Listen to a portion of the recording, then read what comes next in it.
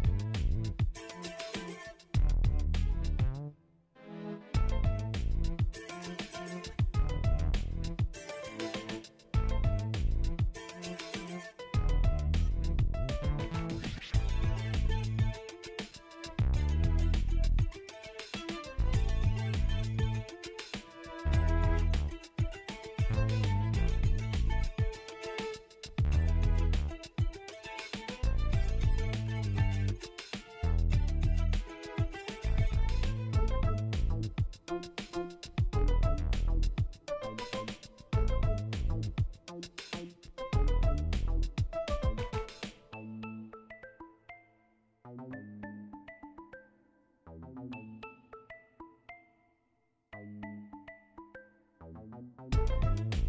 we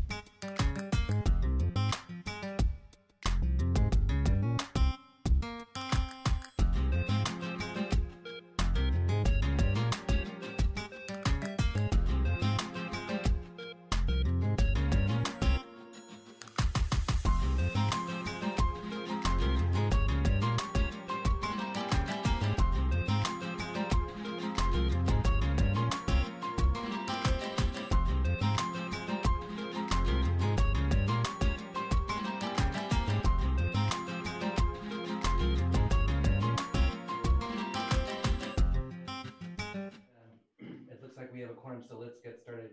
Uh, I'd like to call this San Jose Charter Commission meeting of May 3rd, 2021 to order and ask the clerk to take the roll. I'll take the roll, starting with Barbara Marshman, Here. Christina Johnson, Here. Elizabeth Monley, Here. Ellie Matsumura, Here. Enrico Calendar, Frank Matesky, Here. Garrick Percival, Uh, here. George Sanchez, Present. Hui Tran, Here. Jeremy Barousse, Present. Jose Posadas, Here. Lan Diep, Linda Lazat, Here. Luis Barosio, Luis Barosio, Magnolia Siegel,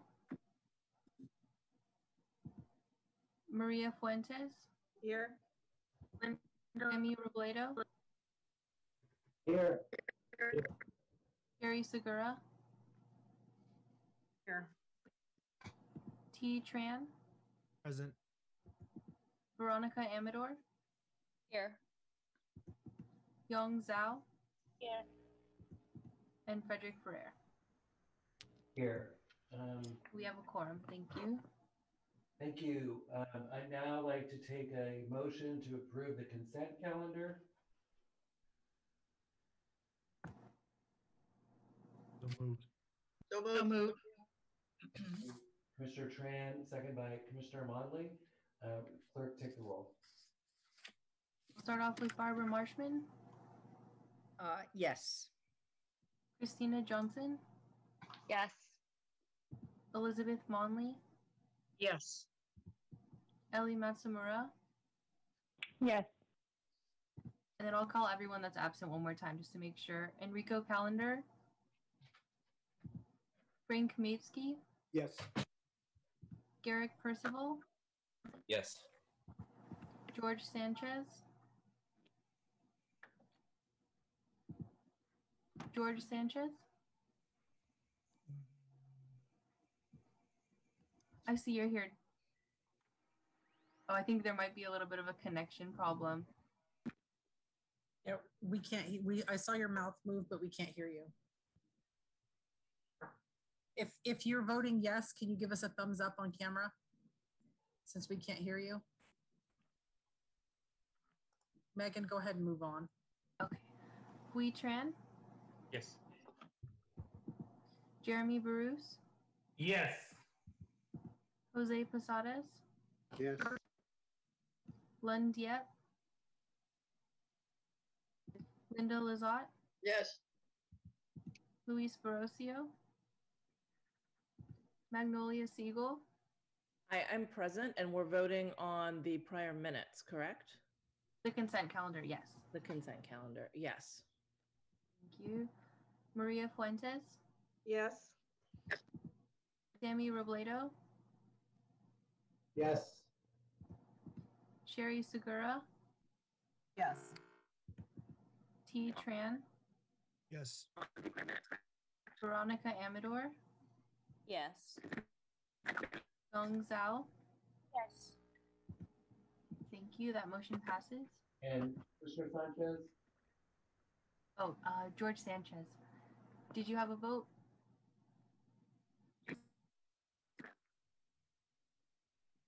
W- Were you able to maybe raise your hand? Yes?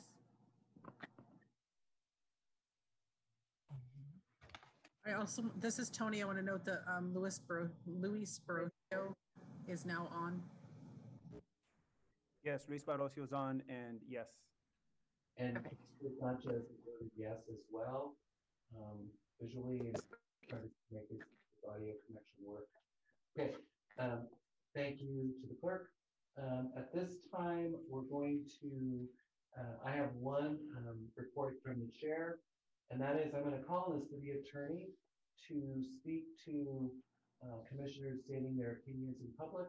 This is a reminder of the, um, the, uh, the work that the city attorney had talked to us in training that he talked to us about at the beginning of our, beginning uh, of our commission, and just wanted to speak to um, that issue again tonight. Yeah, good, good afternoon, everybody, or good evening, everyone. Um, I just wanted to remind everybody that, um, you know, unlike some other commissions, uh, in the city, this body is not uh, limited um, in what it can and cannot say publicly, but we have advised for the purpose of avoiding serial communications and things like that, that um, individual members' opinions, uh, if they're expressed in public, um, uh, should be avoided. Um, uh, that way we avoid any issues with the Brown Act and, and violations of it. Thank you. I also add that uh, we want to make sure that the public believes that this is um, trying to hear.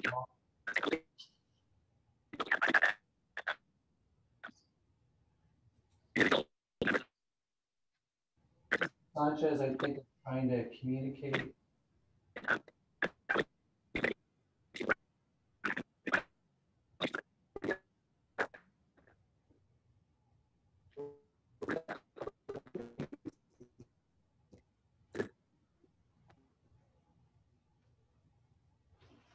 Um, just as a reminder that we, um, we want to make sure that the public understands that we are um, in the process of studying these issues and have an open mind and, and are not making a decision at this time.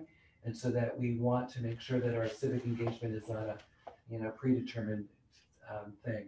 As long as we're making sure that we're in avoidance of the Brown Act violation, as well as being, um, make sure that our public opinions are stated in ways that they may be your individual, but not as a commissioner. And that we really want to make sure that the folks in the community believe that uh, this is an open process in which we are studying the issue and then we'll make recommendations in which the public will be able to give us input and for us to make final decisions around. So thank you to the city attorney.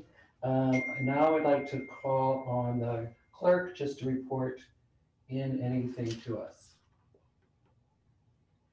I am having a little problem with my audio, so let me know if there, if you have any issue. Um, I have a, a couple of things to report. One, we did have a resignation from a District 10 representative, um, Dan Bizzuto. He um, submitted his resignation this morning. We've contacted the council member um, for a new appointment.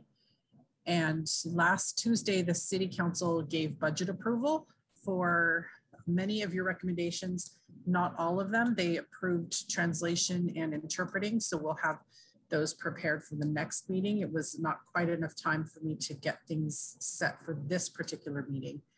And then um, they did not approve outside counsel, so we'll actually talk about that under the work plan.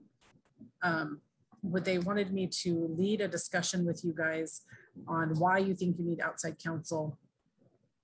So we'll talk about that under work plan, not under reports and information.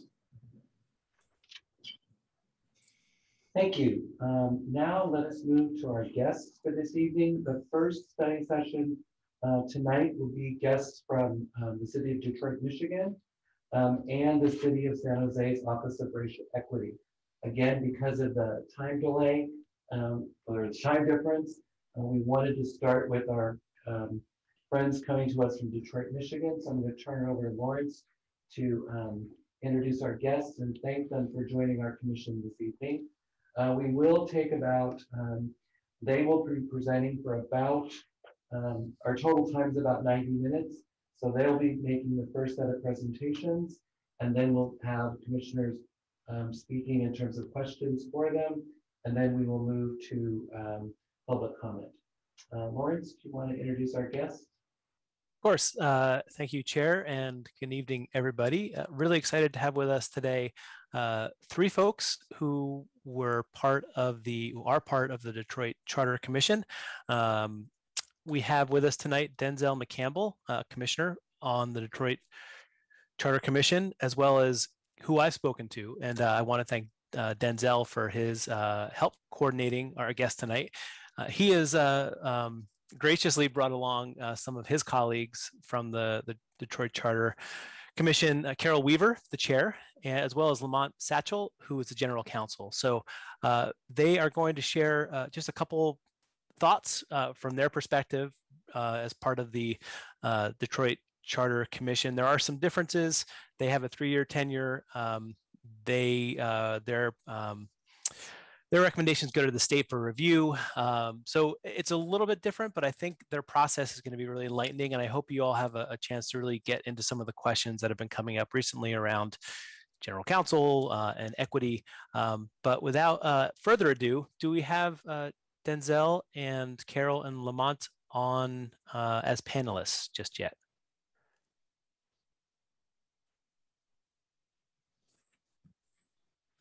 Megan and Tony, I'm assuming that uh, you are, are going to set us up with that. Because I see them in the attendees section. I see Denzel and Carol.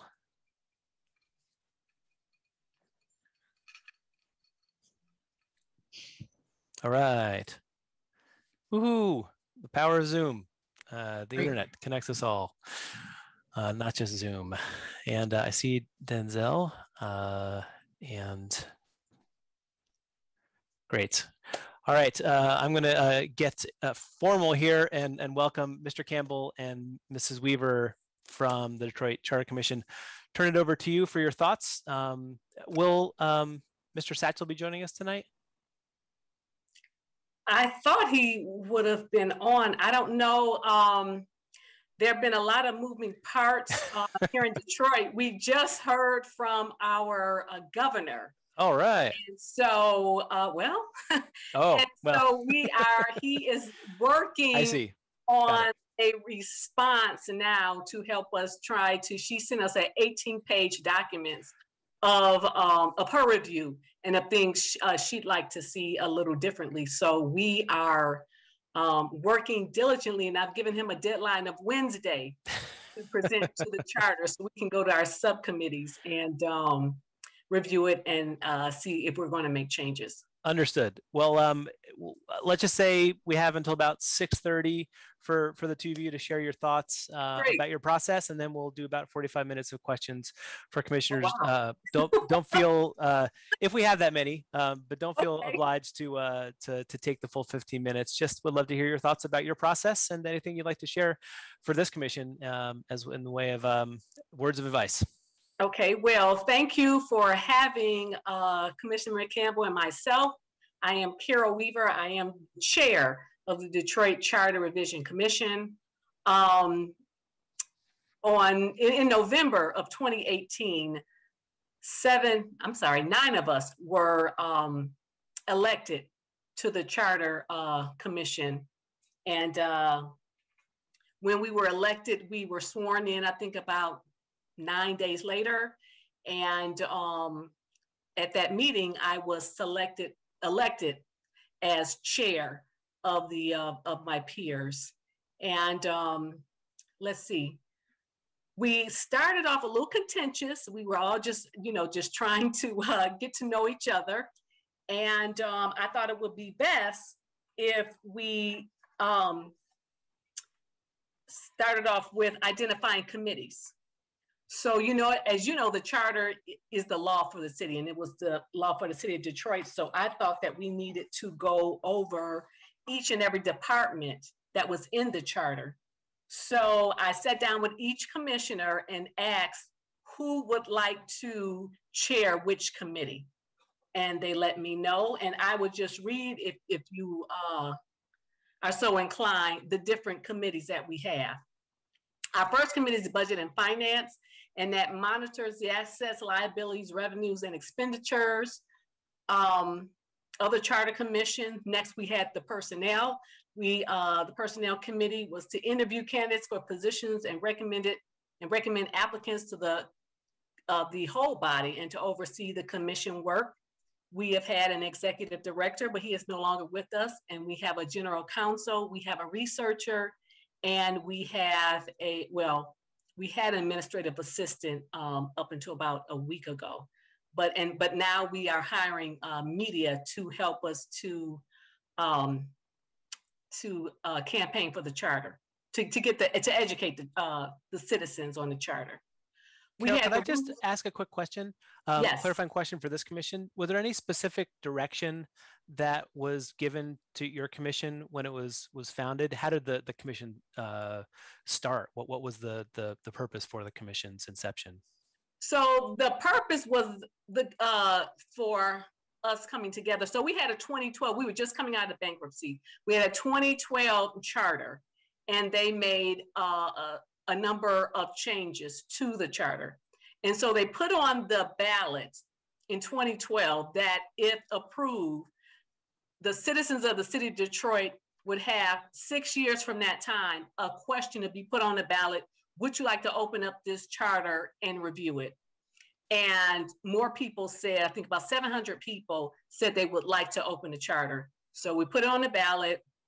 We ran for uh, a seat on the commission, and nine of us were selected. So that's what happened. Great, thank you. and and so when I um, became chair, I thought that uh, it was best. I was trying to bring the group together. There was no direction from anyone. And so I thought it best that we uh, kind of take the lead from the 2012 charter. And so what they did, they had a number of uh, committees, and I just duplicated that.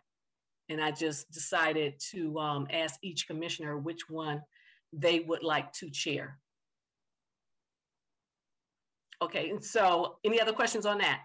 No, thank you. I just thought it'd be helpful to have a little bit of context about how your commission was a little is different than this commission. As as you may know, this commission was was created by the Council of San Jose to investigate a, a few different topics.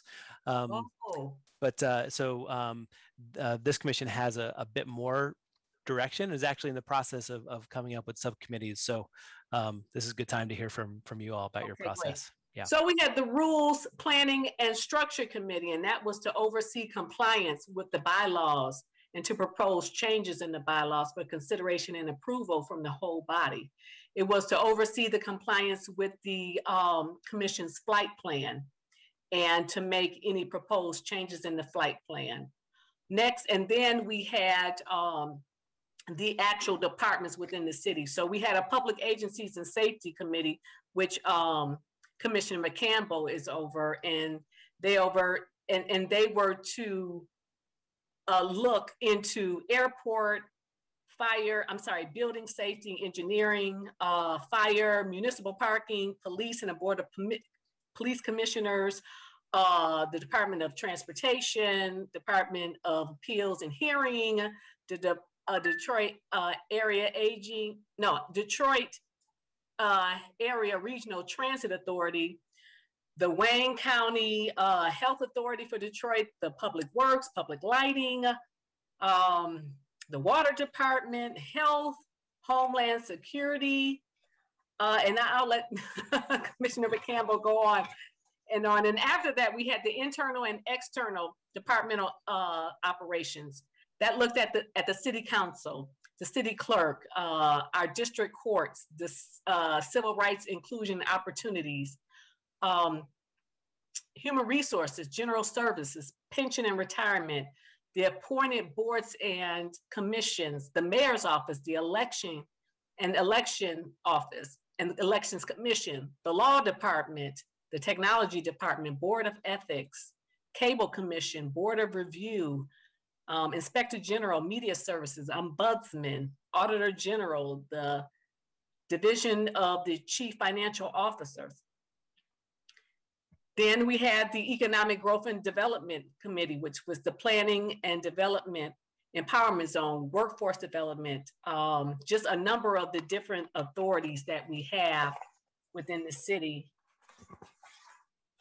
So our next subcommittee was the neighborhood and community service, which we took care of our, of which we had our youth, seniors, disabilities, arts, civic center, library, human services, historical, senior citizens, radio patrol, cultural affairs, museums, recreation, um, the zoo, neighborhood districts, neighborhood associations, and block clubs. Then we had Workers' Rights Committee, and that was to address all the pertinent issues pertaining to employment and contract with the city of Detroit. So I had, um, after I selected the chairs for each of the subcommittees, I asked the chairs if they would then ask a, a up to three commissioners, no, no more than three. Some of them had two, some of them had three on their uh, um, on their committee. Invite the commissioners to be on the committee. Um, one reason why I did that and I, and I did not select the members because I wanted the chair of each subcommittee to um, to have a good working relationship and to build a relationship with the um, with, with, with their members.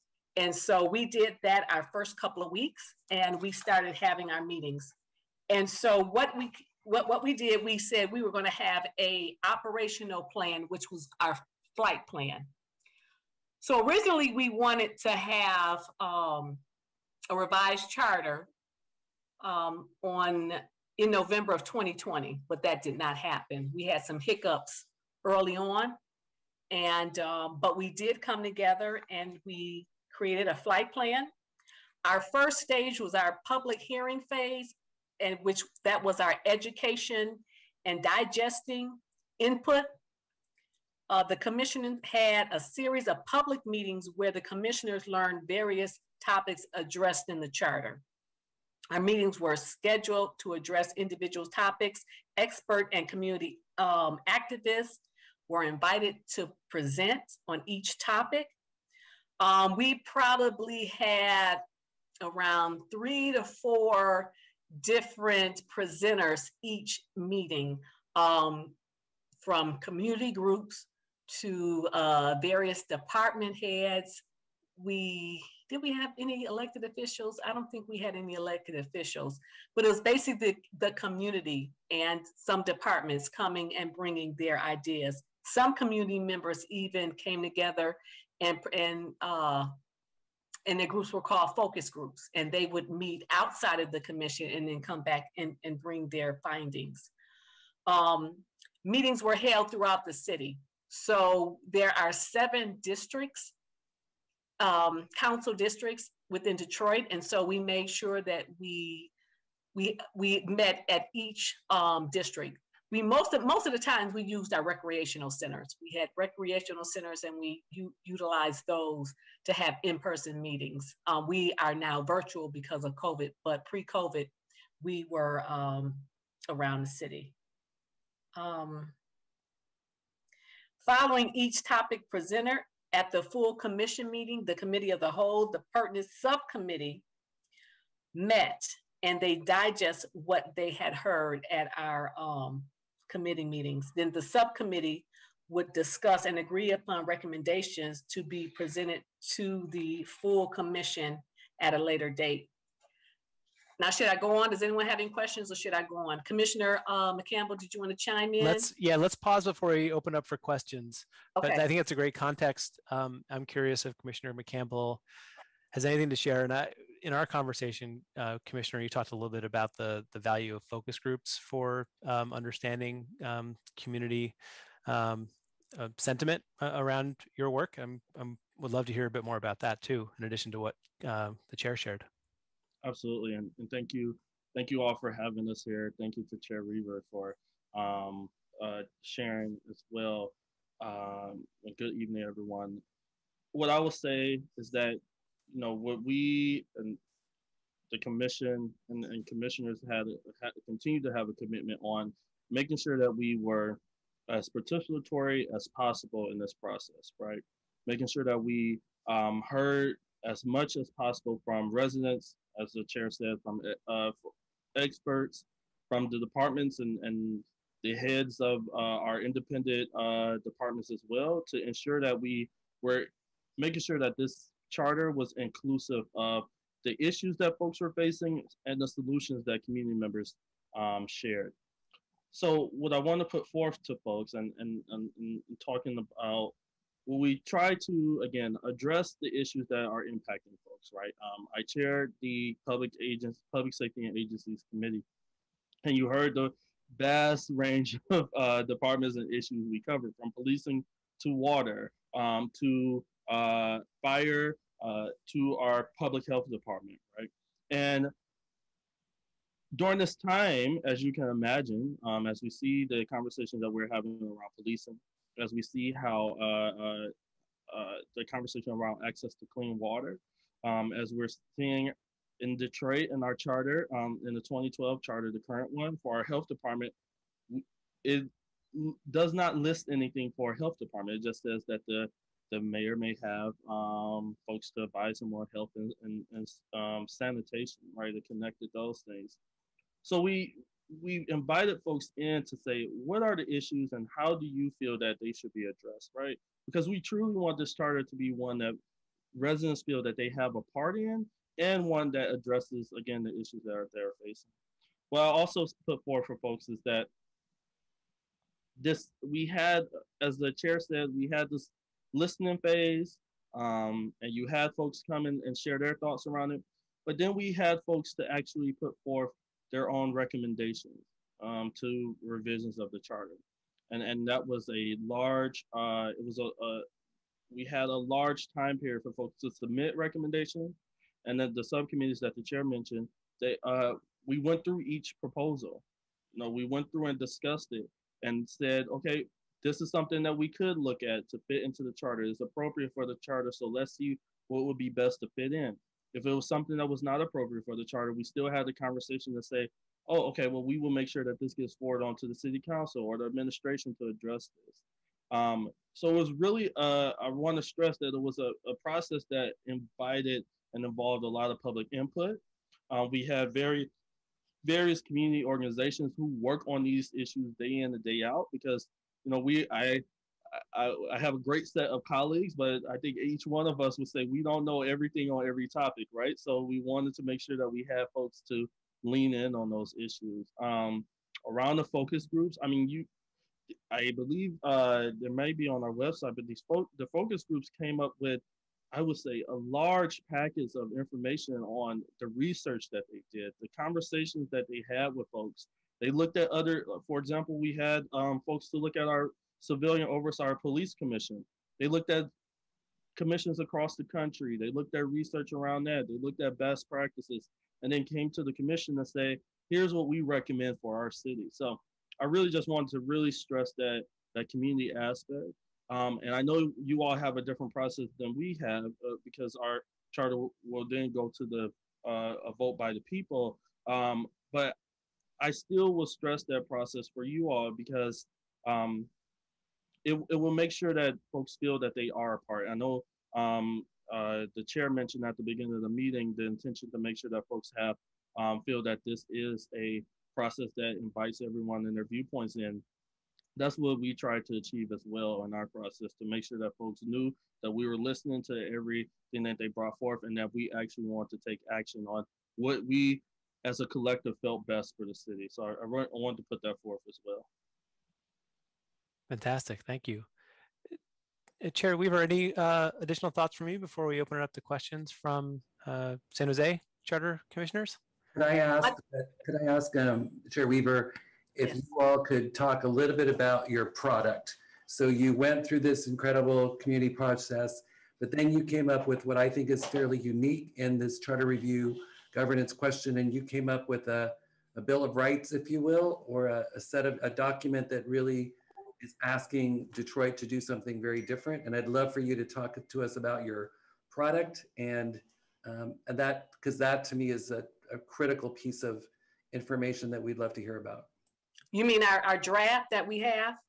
Yes, ma'am. the draft charter. Uh, I'd like to uh, defer to um, Commissioner McCampbell because we really have some very progressive um, revisions, and most of them came from Commissioner McCampbell's subcommittee. So, Commissioner McCampbell, can you just share some of the? I mean, we just have some amazing, some amazing uh, revisions. So, if you could please share those, Commissioner McCampbell. Absolutely, thank you. I and, and I would say you mentioned um, to the chair. You mentioned the Detroit Bill of Rights. I, I do want to touch on that for just one second. Um, we had a, a, a few council members and and uh, community organizations build, uh, come up with a coalition. And what they did, they looked at various areas of the city governance and the issues. They looked at water. They looked at their environmental justice issues. They looked at um, policing and, and, the militarization of um, our police. They looked at transportation and green space and recreation, right? They looked at, um, um, well, I'm trying to make sure that the, the immigrant rights um, and they looked at disability rights, right? And so they really took a look at all of the, they had an inclusive process and then they brought forth this, they submitted the Detroit Bill of Rights as a proposal, a revision to the charter. And what I can share about this charter that now we have a draft, our final draft of, is that what we did, and I can touch on a few things. I'll touch on water for an example of first. In the city of Detroit, um, we have had a, um, I would say on a national, on a, uh, on, I would say a large scale uh, problem with water shutoffs in the city of Detroit. Um, a lot of families have gone without access to water. And you've had a lot of folks put forth um, proposals um, to ensure that folks have access to water and also have affordable rates. And um, Detroit back in 2005 actually adopted a water affordability plan, similar to what we see in the city of Philadelphia. But what the city council approved that, but it was never put into place. And advocates continue to go back to the city to say, hey, you know, tens and thousands of families are facing water shutoffs. We have to do something about it, right? And we got to the charter process and they put forth this water affordability plan, which says that we understand that folks want to pay in the system and we want folks to pay into the system, but we also want this to be an affordable rate for families, that no family should go without access to water. So what we did, we put into the charter a water affordability clause that says, one, you cannot shut off water to folks, especially if they are um, have children the home, if they are facing, um, if they are impoverished, if they have folks who have uh, um, uh, uh, uh um, impacted uh, health or anything like that, we put those revisions in. But we also said, you know, we have folks who cannot pay their water bills, So, but want to pay, but they can't pay because they have large uh, late fees. So we said we we want the city to come up with a plan to address that to ensure that folks have water. So that we have a very a progressive water affordability piece in. We also said, you know, our police force, as we see across the country, you see police forces become more and more militarized.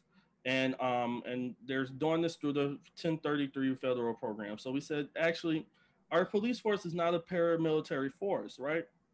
We want them to be a community police department and, and to build those relationships with um, folks in the city. So actually, we're going to put limitations um, on the uh, militarization, the ability to accept and um, receive donations of militarized equipment uh, for police.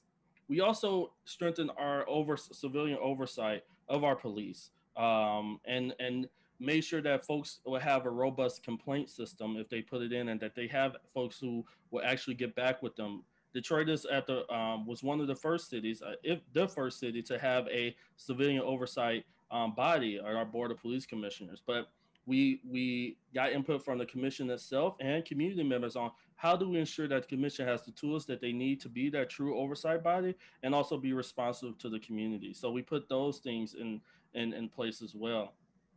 I talked on health, and and mind you, uh, to remind folks, we were taking up these proposals as the COVID nineteen pandemic started. So we were talking about access to water, while the top it, the top thing that folks were being told during COVID nineteen were to wash your hands, and we knew we had families in the city who were, were not able to wash their hands. We also were going through this while we knew that the charter did not provide much of any direction on the health department. We have a health department and and uh, the, the administration has come up with a form of a health department. But what we said we said okay we actually no matter who is the mayor no matter who is the city council we want to make sure we have a robust health department that addresses physical emotional and and um, um, mental health of our residents and and we put forth a, a robust uh, health department there but to also um, ensure that the uh, accommodations and, and restaurants and, and, nursing homes and um, long-term uh, uh, living facilities had the oversight that they needed also.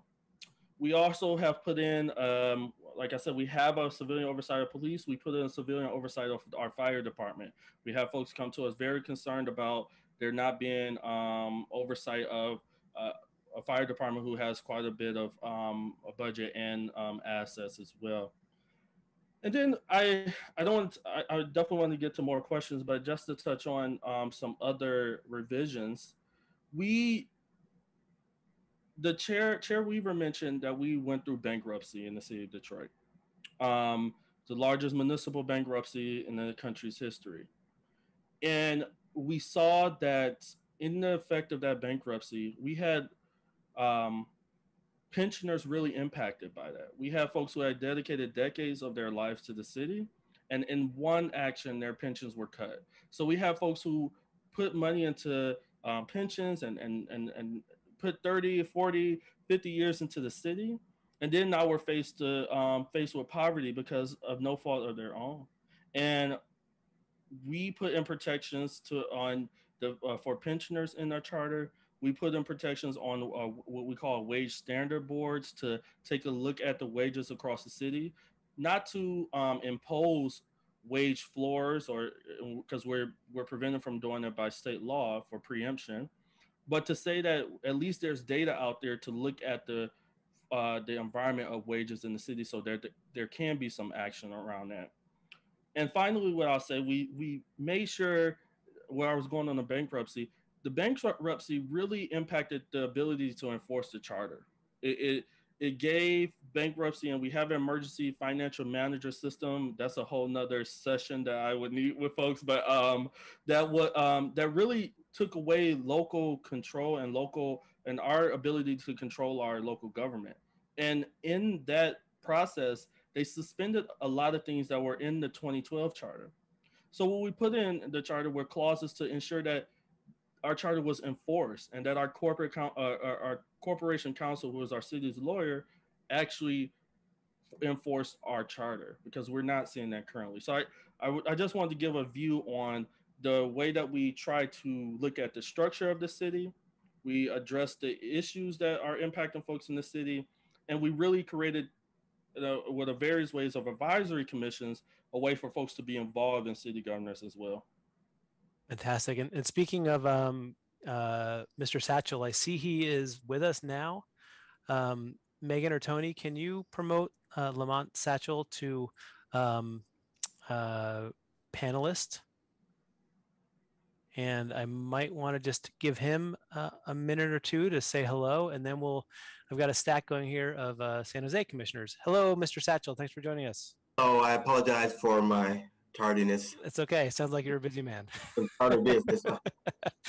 well, um, we just heard from uh, Chair Weaver and Commissioner McCampbell, and um, uh, I think if you have just a, a, couple minutes to share your perspective on how you supported the uh, Detroit uh, Charter Commission um, and any recommendations you might give to to this uh, Charter Review Commission, especially with regards to to the outside counsel and and and. I heard. I think I heard Commissioner McCampbell say that you're a city attorney for for the city of Detroit. Is that correct? Well, I was. Um, I'm a, the general counsel for the Charter Commission. I see. Okay, but you're not you're not employed by the city. Not, no, I, okay, I used got to it. be, but not. No, I see. I'm Okay, no- great. Well, with that, I'll, I'll let you share because I was like, well, muck it up, muck, muck it up. Thank you, Lawrence. and hello, everyone. Again, I apologize for my tardiness. Um, my name is Lamont Satchel. I had the um, uh, I don't know, I guess the distinction of not only serving for general, as general counsel for the current commission, but for the prior commission uh, in 2008, the 2008 Charter Revision Commission. So I have uh, quite a bit of experience working with um, with charter commissions, and um, I know one of the things you wanted me to speak to was sort of how to make sure there's equity in the document. Um, but I'd like to sort of just quickly talk about the process, which I think is very important. And my recommendation is this: begin with the end in mind. I don't. I assume that the- your charter has to be approved by the voters, and if that's the case, that's what you need. That's what you need to start with. I mean, these, these just to be clear, these are recommendations that'll be given to council, and then council will decide whether something goes.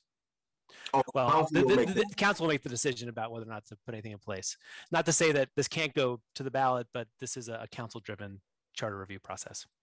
Okay, I guess so. My my recommendation still obtains. I think you you need to uh, make sure that you craft and put together a document that has um, wide support and input from all of your stakeholders.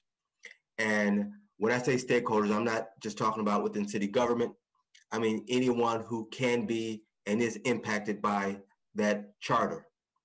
Um, and I don't know what the process is or or or or the format of your of your charter is, but you have to think very broadly about everyone who could be impacted by it because those are the individuals who will bring to bear the types of political pressure or input to the council to make sure that uh, what you the document you put together is given due consideration and adopted um, uh, uh, by the by the by the council. Um, one of the things I, I think is very important to do is you seek to garner the input of, of everyone um, is to sort of uh, assign certain people on the commission with responsibilities for certain stakeholders. They'll sort of be the point person for those stakeholders. I think that's very important um, uh, to do that so that um, there's always a connection between the commission and uh, and the stakeholders, and there's someone who they could quickly get in contact with if they have any issues or want to um, discuss a matter related to the to that group or that that proposal. Um, the other thing is, I think what you need to do is early on think about sort of buckets of topics and where you're going to place certain proposals that that come in. Uh, organizing the effort is, I think, is very is extremely important. The last commission we had about 500 and something individual revisions, which I know very well because I had to go through each one of them and provide a, an analysis of them. We had uh, about three, 400 with this with this commission. So it's very important that you uh, begin the process to start to organize a way to review and categorize the different revisions that will be um, submitted um, to you. Um, one of the things that we did with the prior commission, and we attempted to do with this commission, but we didn't get a chance to because of the pandemic was we had what we called a constitutional convention, right?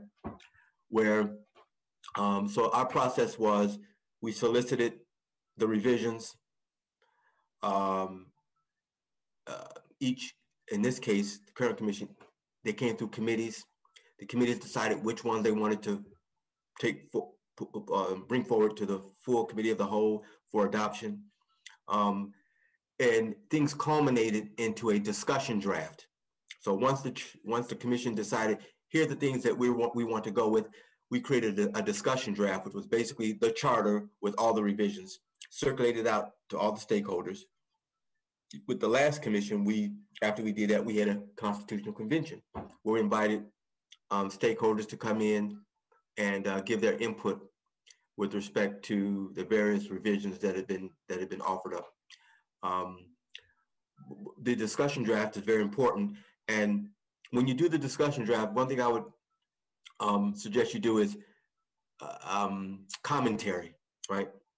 Because at some if it, if this is adopted, at some point, if a legal issue comes up as to what was the effect, what was meant by a certain provision, um, courts will likely look to the commentary. We had the case here where the current mayor ran for mayor the first term and he missed the deadline and he claimed that uh, he, he met the requirements of the charter. The court looked to the charter commentary and says clear from the commentary what was meant by the language there and you missed it.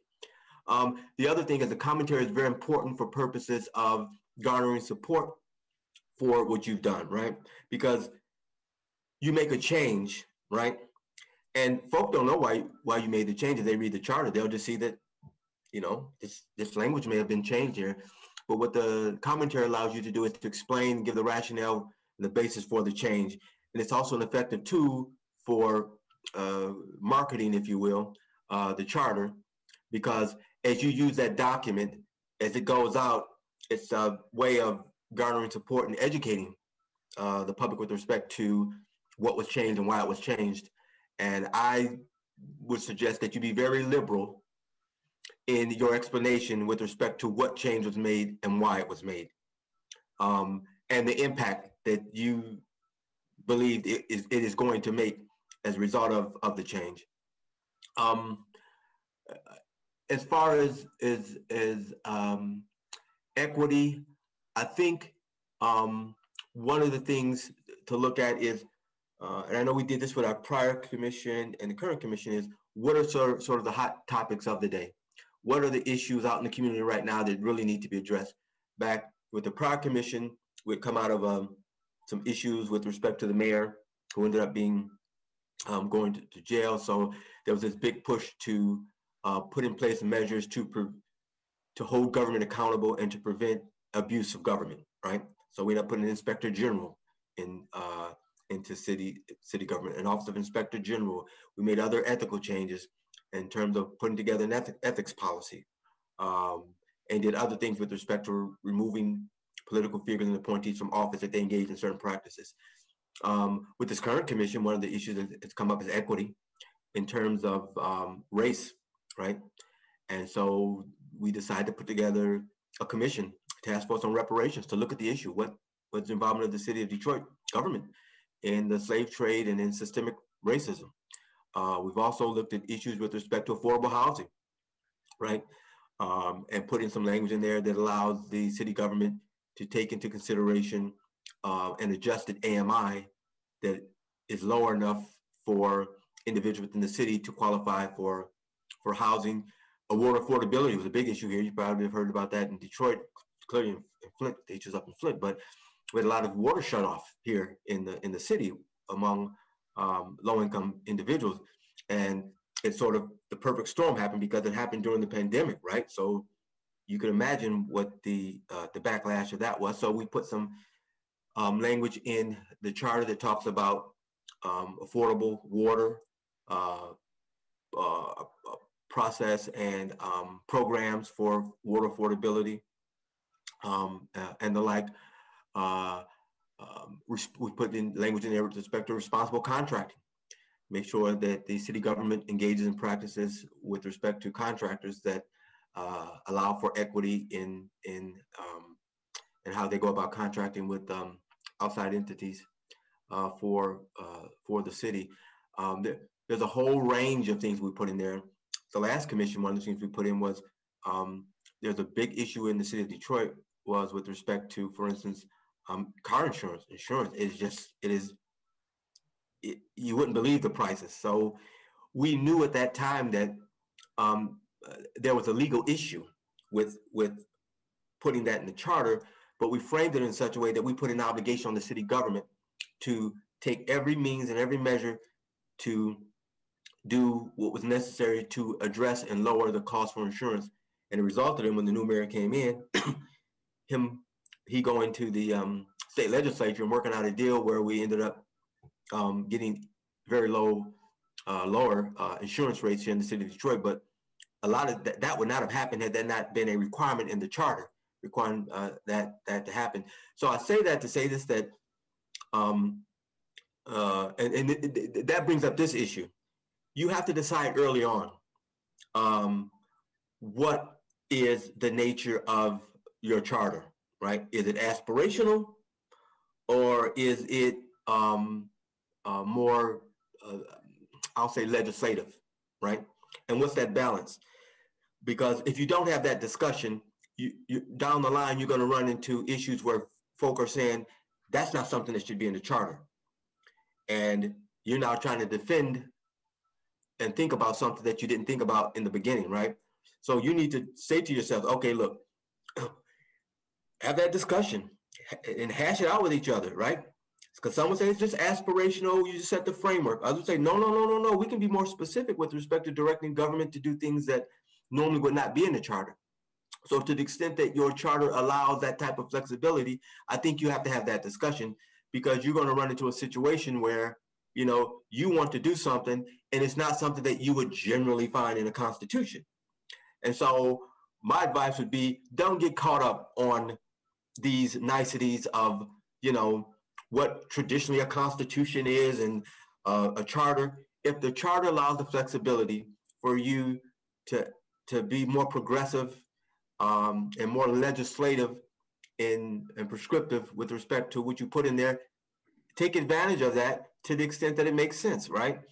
Um, now, I'm not saying you turn the charter into a city code, but what I'm saying is you should not be afraid to speak through the charter on an issue that, um, for instance, in our case, we've seen that city councils have been shy to speak to for whatever political reason. They don't want to deal with the issue, right? Uh, they would love for someone else to deal with the issue. And if it was in the charter, oh, we're forced to do it, we'll do it. But it's something that, nah, they don't want to, you can't get any agreement with respect to, or consensus with respect to the city council to do something. So if there are things like that where, you know, hey, this has been a, a you know, a hot button item for 20, 30 years and everyone's been scared to do something about it, right? And if you think it has the support of the, of, of, of, of the voters or significant stakeholders, then I would offer it up and say, look, here's something we think that, that you know, this charter, that needs to be incorporated in the charter that you need to, um, that you need to deal with. Okay. Um, Thank you, Mr. Satchel. I'm just going to step in and um, uh, thank you for your comments. I want to make sure we have enough time for commissioners to ask questions of you all. Okay. Um, so um, we'll we'll uh, transition there, and uh, I have a, a, a stack of commissioners Tran, Siegel, and Percival. Um, Commissioner Tran, please. Yes, uh, thank you. Uh, and uh, I want to thank uh, Chair Weaver, Commissioner McCampbell, and uh, Mr. Satchel for coming out tonight.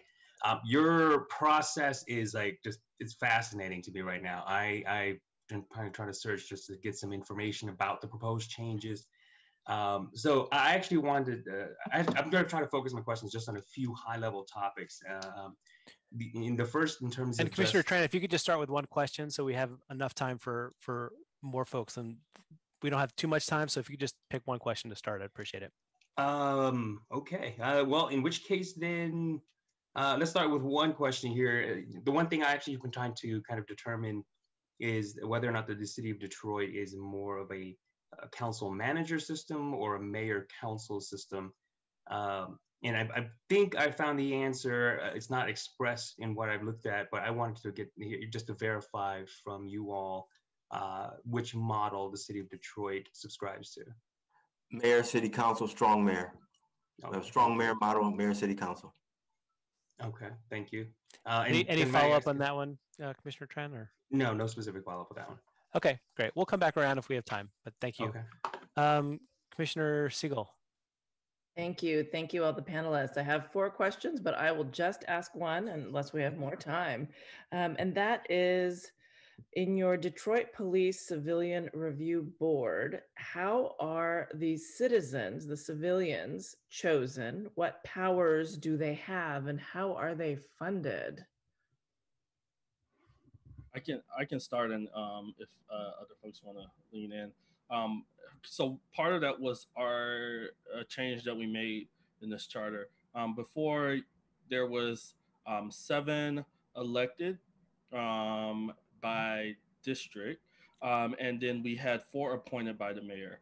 Um, we we got quite a few strong proposals to come in to say that folks wanted a uh, elected only police commission. Um, one of the reasons why is that folks saw a conflict with the mayor um, appointing uh, folks to the commission, but also um, being the supervisor and and um, selecting the police chief. So we made it a um, elected by one per district, uh, seven member commission. Um, the commission is funded through uh, the city's budget through the general fund, um, and lastly, uh, they have they have a wide range of um, uh, functions and duties. One specific one is the investigation of uh, civilian complaints, um, of, of uh, also of any uh, wrongdoing of, um, police officers, and they also provide oversight of the police department. One thing that we uh, we strengthen in this um, charter is the uh, oversight over the budget, the oversight over promotions and appointments of the police chief. So we we strengthen some of those duties as well. But um, if the chair or general counsel has any more to add, please do. Yeah, just real quick, prior to 2012, the prior charter commission, the, every one of those members of the Detroit Police Commission was selected by the mayor. Um, when we went to a district system uh, several years ago, we allowed for seven of them to be elected, one from each of the seven districts, with the mayor appointing, uh, I think it was four, uh, four members. And I remember that because I was pushing that you got to have allow the mayor to appoint some folk because the concern was that Lamont may be popular, but Lamont may not be someone who really understands police operations, and so you at least want to have some expertise.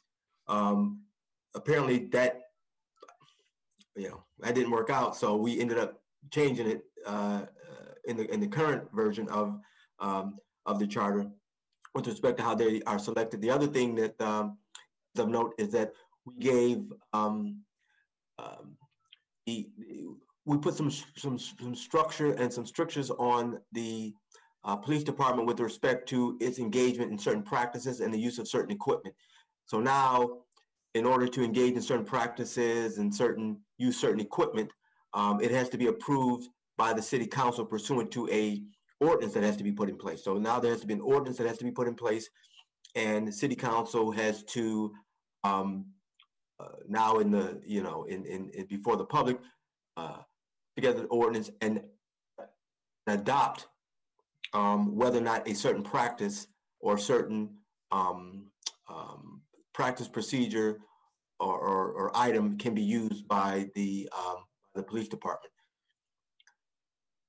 Great, thank you. Uh, Commissioner Percival, you had your hand up earlier. Yeah, yeah, thanks. Um, thank you very much for for your um, expertise and sharing your your experiences with us. I had a question more about process, and particularly, um, I think all three of you mentioned different aspects of community outreach. That's something as commission we've we've talked a lot about. But what what kinds of things have you learned to be, uh, in your experience, to be effective in terms of getting um, information and input from community members who might not always be sort of maybe the most active in in city politics you know people who have a lot of stake in what city government does but you know maybe hasn't been as active. How, how did you go about doing that kind of work to make sure you're you're having an you know inclusive set of voices? And did what kinds of resources did you have at your disposal as a commission to to make that more effective?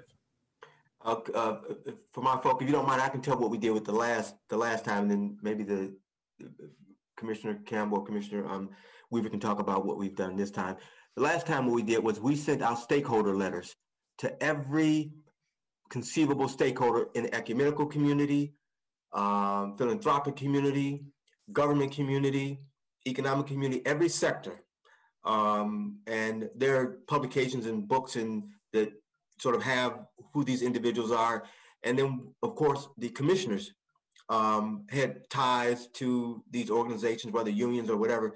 So we sent out, I don't know, must have been a hundred or so different letters to these individuals, letting them know that we're engaged in this process. Here's how you can participate.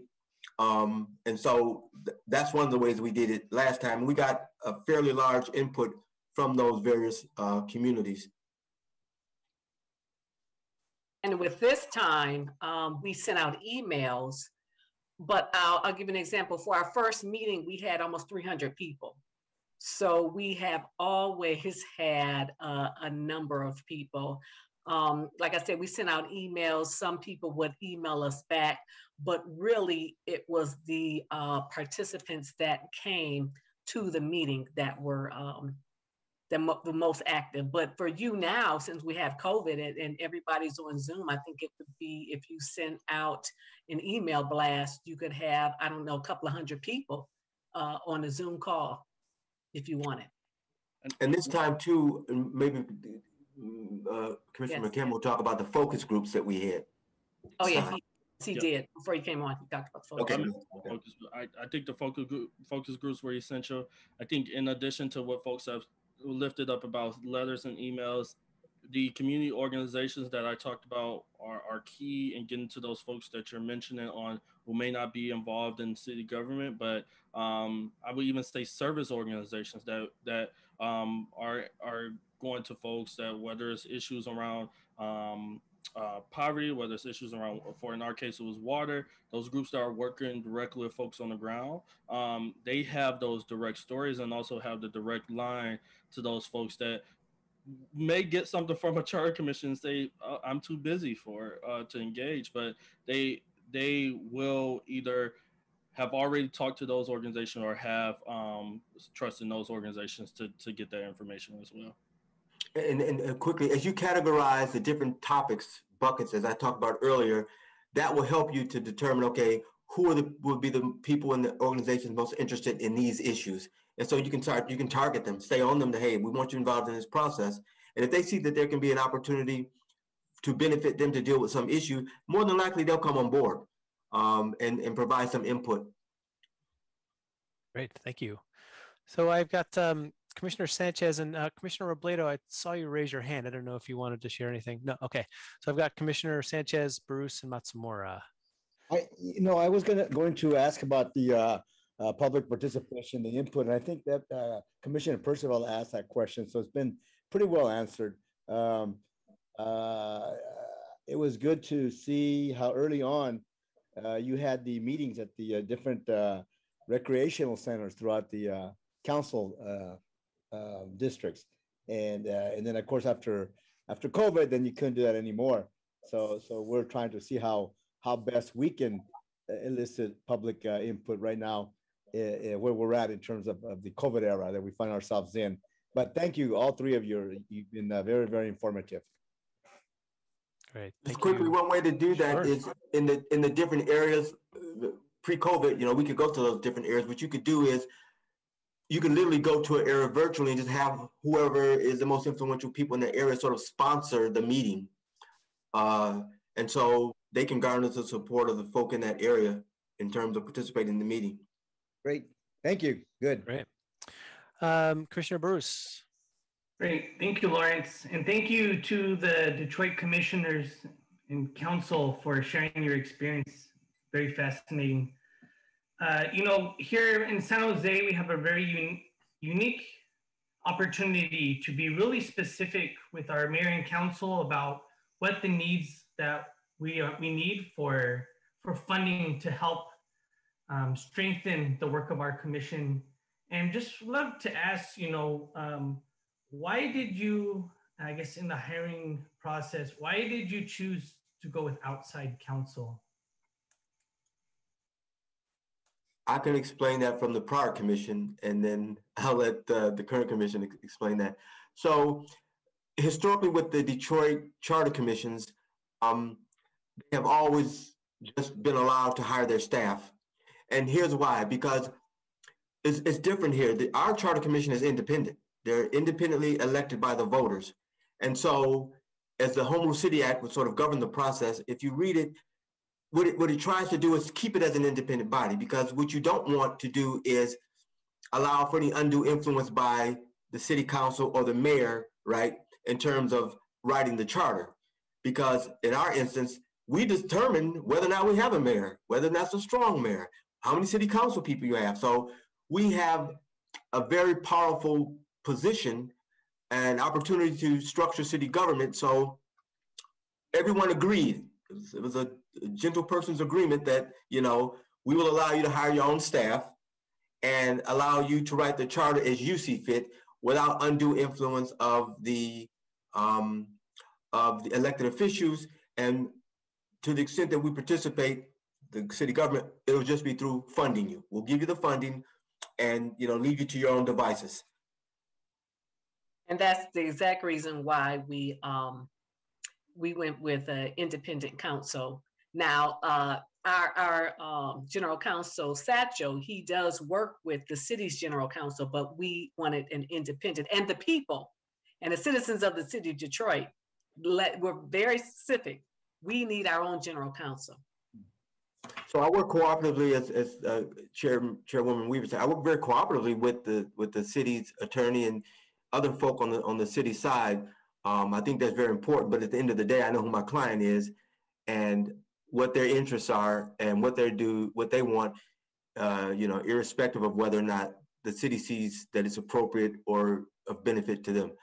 But it's very important that you have that you have folk who are independent providing you advice and giving you assistance in the drafting of it because there's going to be times when you come up with something that may not be favorable to the city or city council and there's the potential that if someone who works for them also works for you you know you are temporary they're permanent they may tend to you know be skewed in terms of how they um, interpret or provide assistance to you so you want as much independence as possible in your process, and and and you should establish that early on with city council and have them respect that. It's sort of hands off. You do what you need to do. You bring it to us, and we'll objectively look at what you're doing, but we won't interfere in the process while you're doing it. Great, thank you. So next I have uh, Commissioners Matsumura, Johnson, and Fuentes. Commissioner Matsumura. Thank you so much. Just want to echo what my colleagues have said about how incredibly helpful this is. Um, I wanted to pick up on a point that Mr. Satchel raised, uh, sort of about that aspirational versus legislative approach to the charter, and and um, it, I, I, believe uh, Commissioner McCampbell, you touched upon it as well when you described the process of uh, community members, members of the public, stakeholders bringing forward recommendations, and then an assessment that the committees had to conduct of which recommendations should proceed to the full commission and belonged in the charter.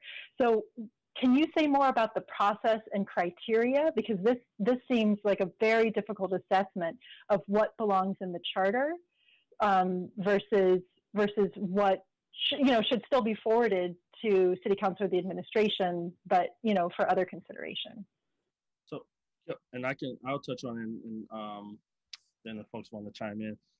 One thing that I want to, uh, as a as a tool that we use, each proposal, we uh, each subcommittee use a recommendation form, and within that recommendation form, we uh, we will put the proposal. Um, if they had, if there was current language in the charter that talked to the issue that they were addressing. Some folks will put in their proposal that they want to amend a section section of it. They would some would be a new section or they want to strike. So we would go down and do that. We will also look at any relevant um, ordinances that are currently on the books that spoke to that uh, issue, right? So it may be that, again, I think first and foremost, if we saw that there was an ordinance, we would say this is an ordinance matter, it has to go to city council. Um, but we also looked at state law, if there was any state law that governed it and it was not in the city's hand or the county or anything like that, or federal law. And then we took a look at the legal aspects of the actual proposal, and that's where we leaned on um, general counsel quite a bit on on on how if it was legal, um, how this would play with the city charter, or if it was a city ordinance, and then we did a financial analysis as well. The other thing I would put forward as we were as we were deliberating in the subcommittee on these proposals, we we tried to take a, a, a, a look to say how can we be intentional on what we're putting forth in the charter, but not be too prescriptive, right? So as you'll see, as I as I talked about the water affordability plan, we put a number to say that we believe that the water for that water uh, bills should not be more than three percent of a person's income, but we leave it up to the city council um, um, and and the department to create that water affordability plan, right? Um, we we put forth in, um, for example, we said that we wanted to have um, an increase in youth opportunity for youth employment, but we didn't put a, a, a, a section there to say that the city must hire youth. We said that the city should take all the efforts that they can to increase youth um. So that was also kind of the framework that we we went through to say how can we get to the the result that we want by encouraging and as the general counsel said that you know a lot of these issues that city council administration didn't want to take action on so how can we urge that on, but not be too prescriptive in a in a document that is going to last for um, um 16 to 20 years for, on our end. But if, the chair and the general counsel have more to add on that. Yeah, one thing I just just quickly say is uh, it, it's very important to one of the things I did with the prior commission and, and with this commission was put together the form that uh, Commissioner McCampbell talked about, which sort of structured how a proposal would be would, would be reviewed, right? So we're looking at okay, what is what is what is your your proposed revision? What laws, whether it's an ordinance or state law, applies, right? Do, to the extent that you can cost out whether that there would be a cost associated with that, and then uh, the other thing that, that that that we tried to do was this: when you send me a proposal, give me all the backup data and information with respect to that, right? So don't just say we need to do this. Tell me why, based on what. And also, this was very important to me, and this is something I learned from the last commission that I tried to do with this commission is this. When someone brings me a, a, a, a proposal, because I'm the one who's gonna have to review them and try to understand them and, and draft around it, tell me what your opponent would say against this, right? Because it helps the commissioners when they're debating in committee and thinking through the issue to understand what will be the opposition to this. And so if they want to make an informed decision with respect to a revision that they're urging, it's good to know what is what would the opposition say with respect to this. And so typically if I if someone is a supporter of something, they know what the other side is going to say. So tell me what they're going to say and how you would address that. Uh, it's very important early on that you have as much information as possible when you start to deliberate and think through the efficacy of the revisions that you are going to receive, and it should be ingrained and embedded in the documents that you use so that when you're going through the process, you're forced to think about um, issues a certain way and look at the pros and cons of them and what are the not only the likely objections to them, but what are the legal ramifications and other laws that would would um, would impact that that decision.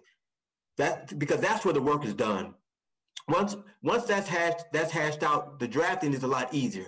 I always found that the drafting was a lot easier when the commissioners really thought through something, um, and that was something that was a benefit this time because they really thought through the the proposals. With the last commission, we didn't do committees, so people gave um, revisions, and then me and the me and the executive director sat down and had to do what the, each commissioner did, to the pros and cons and uh, but it was a lot easier this time because the commissioners thought through each of those revisions through their committees and brought them forward, irrespective of whether or not they agreed with them, right? So they could bring a, every proposal that came, they brought forward.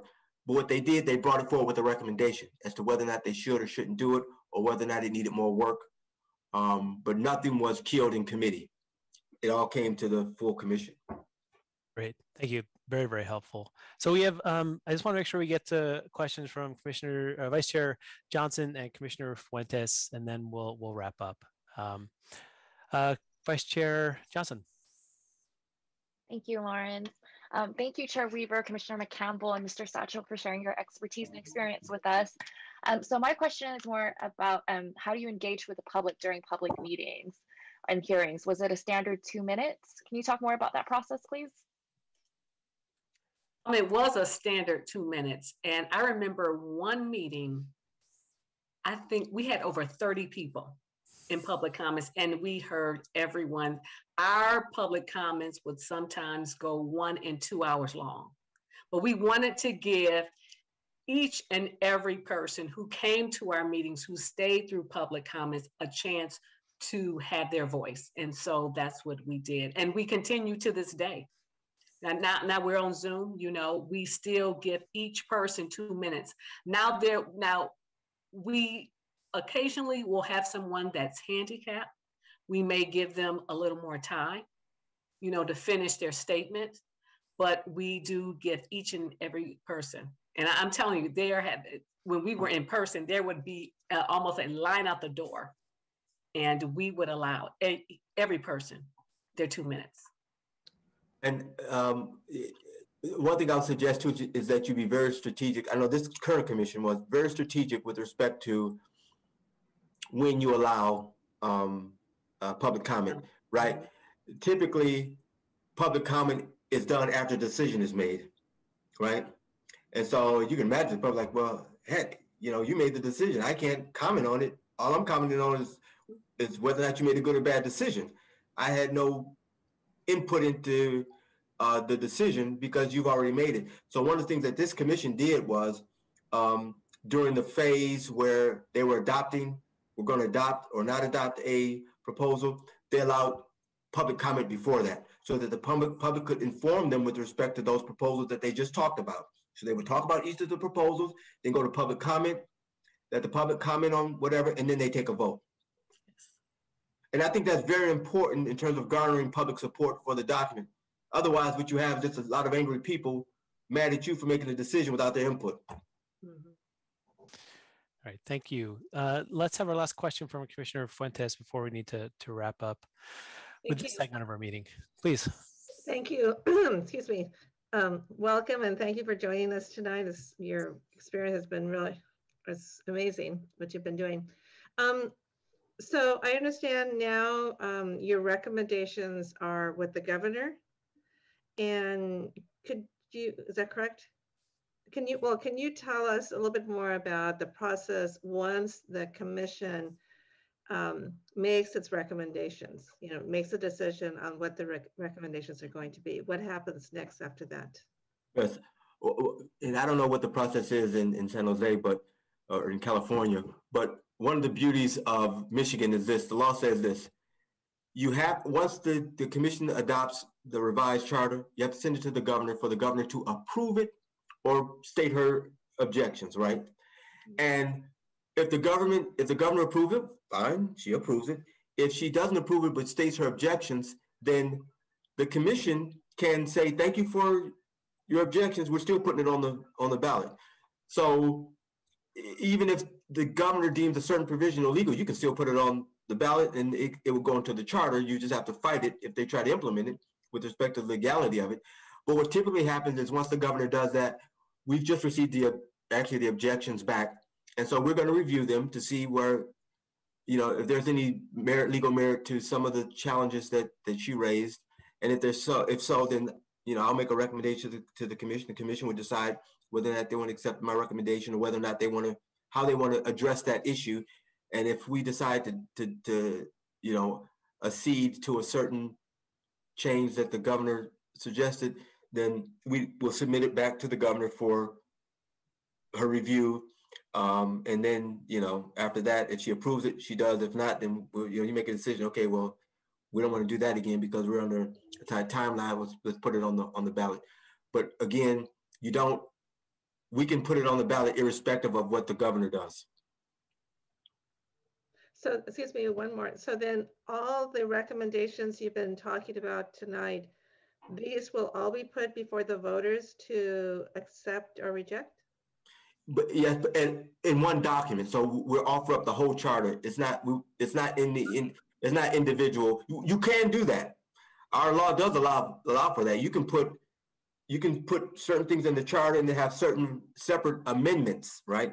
So the charter is called a revision and you got certain amendments that you can also put on the ballot uh, that if approved, if the charter is approved and the amendment is approved, then the amendment would be incorporated into the charter as it was uh, approved by the voters. Thank you. All right. Well, thank you, uh, Chair Weaver. You were a little surprised that we put aside so many time, so much time for questions. Clearly, we could keep going. Uh, I know this commission has derived a lot of value from from you and uh, Commissioner Campbell and uh, Mr. Satchel. Um, thank you for your time. Um, I think um, I would ask commissioners from San Jose if you have any additional questions to send them my way, that I can compile them and, and, and send them to our guests tonight to see if they they have some uh, time additional time to, to donate um, to to answer your questions. But this has been very valuable. Any closing thoughts from from anybody? Yeah, if I can, if I can just add, um, first of all, thank you all for have, having us. I think um, I, I probably can speak for my colleagues here. Uh, this has been a long process. Um, we've, I know I've learned a lot. I came onto the commission a little bit later um, than where it started. Um, uh, the election, um, I was 10th out of the the folks who were running, but someone resigned. Um, and I've learned so much from um, uh, folks on the commission, from general counsel, our staff, and, and, and community members. And I'm sure you all probably have learned so much already and will continue to do so. Um, so thank you all for having us. I just wanted to also, um, just one thing finally for Vice Chair Johnson, um, I wanted to add for the subcommittees, our subcommittees were a place where we allowed a little bit more time for folks to engage um, on those proposals. So as you're thinking about how can we have this robust engagement, uh, um, a subcommittee model will help uh, bring that forth as well um, also. So I just wanted to add that, but thank you all so much. Um, let me, on the behalf of the commission, thank um, Commissioner McCampbell, Chair Weaver, and Mr. Satchel for being with us tonight. Um, safe trip back to Detroit tonight, and uh, coming and joining us. I know it's late there, so really appreciate your contribution and your thoughts. And trust me when I say our commission will very much be considering your thoughts, and will continue to have you in our minds when we are as we continue our deliberations. So Thank you. for your service to the country. Uh, Thank you. Have a good night. Um, at this time, I'm going to move us to our second set of speakers, and I appreciate um, everyone taking the Lawrence's cue and keeping us moving forward. Again, if you have questions that you, uh, some of you had uh, other questions, and you might think about what you want um, further. Just uh, a few questions came to my mind in terms of I thought I knew some of the stuff in Detroit, and I learned a lot tonight. So I really appreciate Lawrence reaching out. I was I was under my direction to say I really need Detroit to be able to speak tonight. So uh, it was not easy to get this this evening all organized and scheduled. So I really appreciate our consultant Lawrence in his efforts to make tonight happen in this first part of the study session. Um, there, our second set of guests tonight, they'll come to us through a recommendation of this commission and direction of this commission to be able to hear from our, our own San Jose Office of Racial Equity. So I'm going to turn it back over to Lawrence to introduce our guests for this evening. We've asked them for a much shorter presentation uh, and then to be open up to questions. So we'll have, um, they will be presenting and then we'll have a short amount of time for questions. But since they're local, uh, they don't have as long a drive home. We will have the ability to ask more questions later about them, or if we need to bring them back in other parts of deliberation. But we wanted to at least introduce them tonight and get us as a commission familiar with our own Office of Racial Equity. So Lawrence, could you introduce our guests, please? Absolutely. Thank you, Chair. Uh, really excited to, to have with us tonight Stephanie Jayne and Sabrina Parra Garcia from the Office of Racial Equity here in City of San Jose. Uh, I asked the two of them to talk a little bit about the work of the Office of Racial Equity and share how they think about uh, equity in the city and, and the, uh, the municipal government. And um, uh, like uh, the chair said, I think that um, there's a lot that we can benefit from the work that they're doing and where they see the city going as far as um, racial equity. So I see this as the beginning of the conversation. Uh, I wish we had more time with them tonight, um, but uh, without any more uh, ado, I'll turn it over to uh, Stephanie Jayne and Sabrina Parra Garcia. Thank you. Great, thank you, Lawrence. As you all know, uh, we are from the city's newly established Office of Racial Equity. I'm Stephanie Jayne. I use she, her pronouns, and I identify as white. I've been with the city since 2016, um, working with the Office of Immigrant Affairs. And I also worked with Strong Neighborhoods back in the early 2000s, so back in the day. Um, I was part of the city's first wave of staff who went through racial equity training through the Government Alliance on Race and Equity, GARE, which I believe you've heard of. Um, and am now part of the Office of Racial Equity team, which is led by our director, Zulma Maciel. And Sabrina? And I'm Sabrina uh, Parra Garcia, pronouns she and her, and I'm Latina. I started with the city in 2015, working with one of the council offices prior to joining the Office of Immigrant Affairs in 2017. Um, and I was actually in the second staff uh, cohort completing the GARE uh, training in 2019. So now that the Immigrant Affairs uh, group has become a part of the Office of Racial Equity, I am also a member of the Office of Racial Equity. Perfect. Thanks, Sabrina. Um, we're going to just do a quick overview. I know we don't have much time. Um, four sort of main topics we wanted to try to touch on this evening. Uh, one is, can you switch the slide, Sabrina? Um, one is what is racial equity? Um, and I know a lot of people have different ideas on that, but really wanting to sort of get a, a baseline on some basic definitions. A quick overview of the Office of Racial Equity, and then start talking about some guiding questions around racial equity and how that might apply to the work you're doing with the charter review. And I'll pass to Sabrina. Oh, sorry, Sabrina. That's good. Um, so we are going to start, we're going to beg your patience because we're starting from all different places, experiences, and races. So we're going to start with the basics. So if you allow some grace for that. Um, we, we hear the term racial equity quite often, but we're, you know, what does it actually mean? Um, and, oops, sorry. And this is the definition that we're using right now. And it actually comes in two important pieces. It, the first half about, you know, what does it mean when race no longer predicts life outcomes?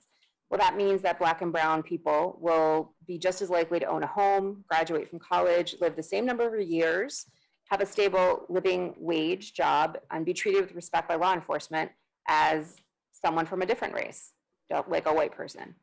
And then the second half of this, that outcomes will improves improves outcomes for all groups. So this is important because this is about taking care of all parts of our community so that our community as a whole is better off and the individuals within it are also better off.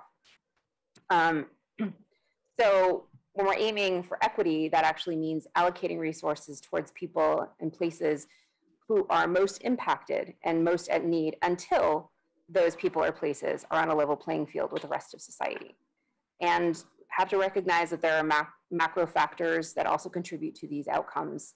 Equity is about restoring power and resources to those most harmed by the leg legacy of slavery, uh, colonization, genocide, and other harms like segregation and redlining. So the impacts of these events persist in ways and contribute to the racial disadvantages we see in the data.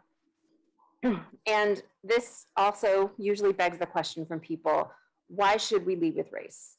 Quite frankly, because race matters. We live in a highly racialized society.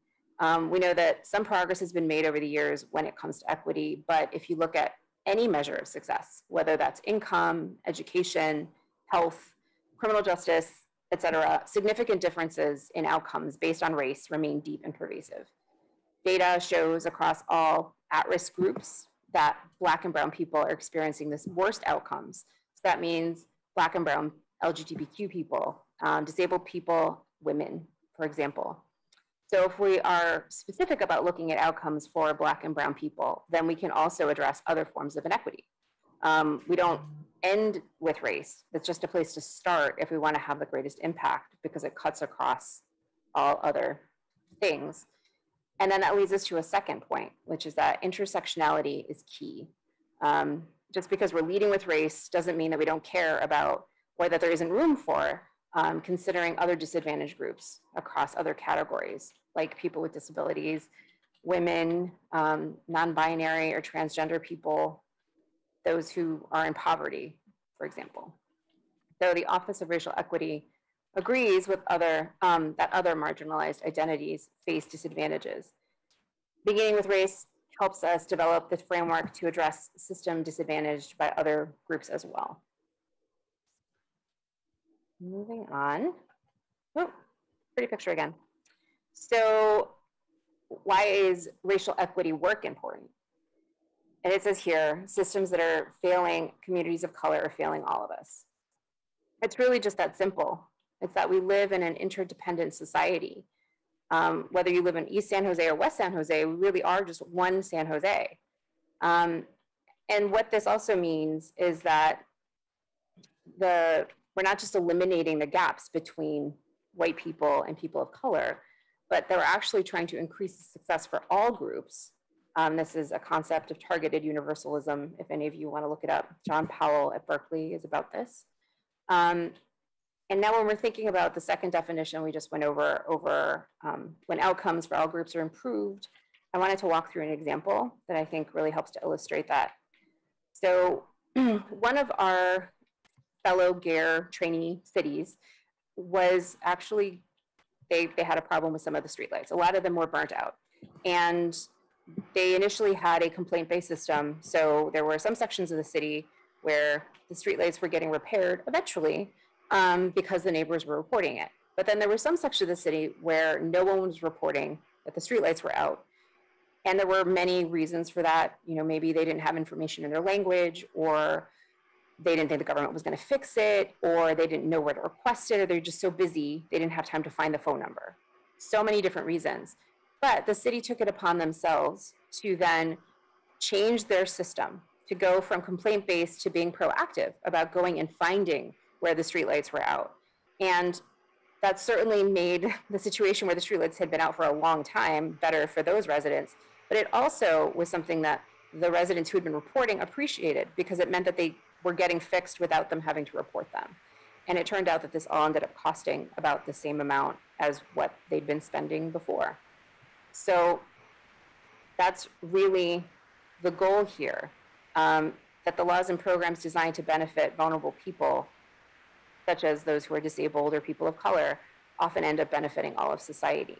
And that is the approach we're using coming in. Thanks, Sabrina. Um, so to provide, some of you may know this already, but to provide just a little bit more background on sort of the, the origins of the Office of Racial Equity. Um, it was established in 2020 and Zulma Maciel was appointed the director in late 2020 in October. So the office is really only about six months old um, and will have approximately seven dedicated staff. And this, the racial equity work actually started several years ago within the work of the Office of Immigrant Affairs. As we were looking at immigrant issues, we clearly saw that these are racial equity issues as well. Um, and, and started then with city staff attending this GARE training starting in 2018. And we now have close to 50 um, city staff who've completed this GARE training and are helping to implement applying an equity lens to work in their own departments. Um, but as just to sort of be very specific about what this slide is communi communicating is that the role of the Office of Racial Equity is to enable the city organization to embed a racial equity framework. And that basically moves, includes examining and improving internal policies and programs, again, so that we ultimately improve outcomes for Black and Brown communities. Um, but let's unpack this a little bit because there has been a lot of confusion about the role of the Office of Racial Equity within the organization. I mean, basically, the office can't do it alone. The city is an organization of 6,000 people and a million residents. Um, so, our role is really to create the conditions and provide support for city departments who are who we are asking to reflect deeply on their own work, to ask questions very differently, to make their own changes, um, and then for the Office of Racial Equity to push the city's thinking on changes that will improve outcomes um, for communities of color in San Jose. One of the ways we like to think about this is that we are an interrupter of the way San Jose has typically done business. So, working with city staff in all departments um, to look at data and disaggregate it by race, to think about equity when making budget decisions, um, investing time and resources into truly listening to communities of color in a way that works for them, not just for the city, um, paying people for their expertise, and also increasing things like language access. So these are examples of internal policies and programs. Um, and there's a lot of work to do here and so many examples that we didn't mention that are deep in the work of each department that our that Sabrina and I will never be experts in.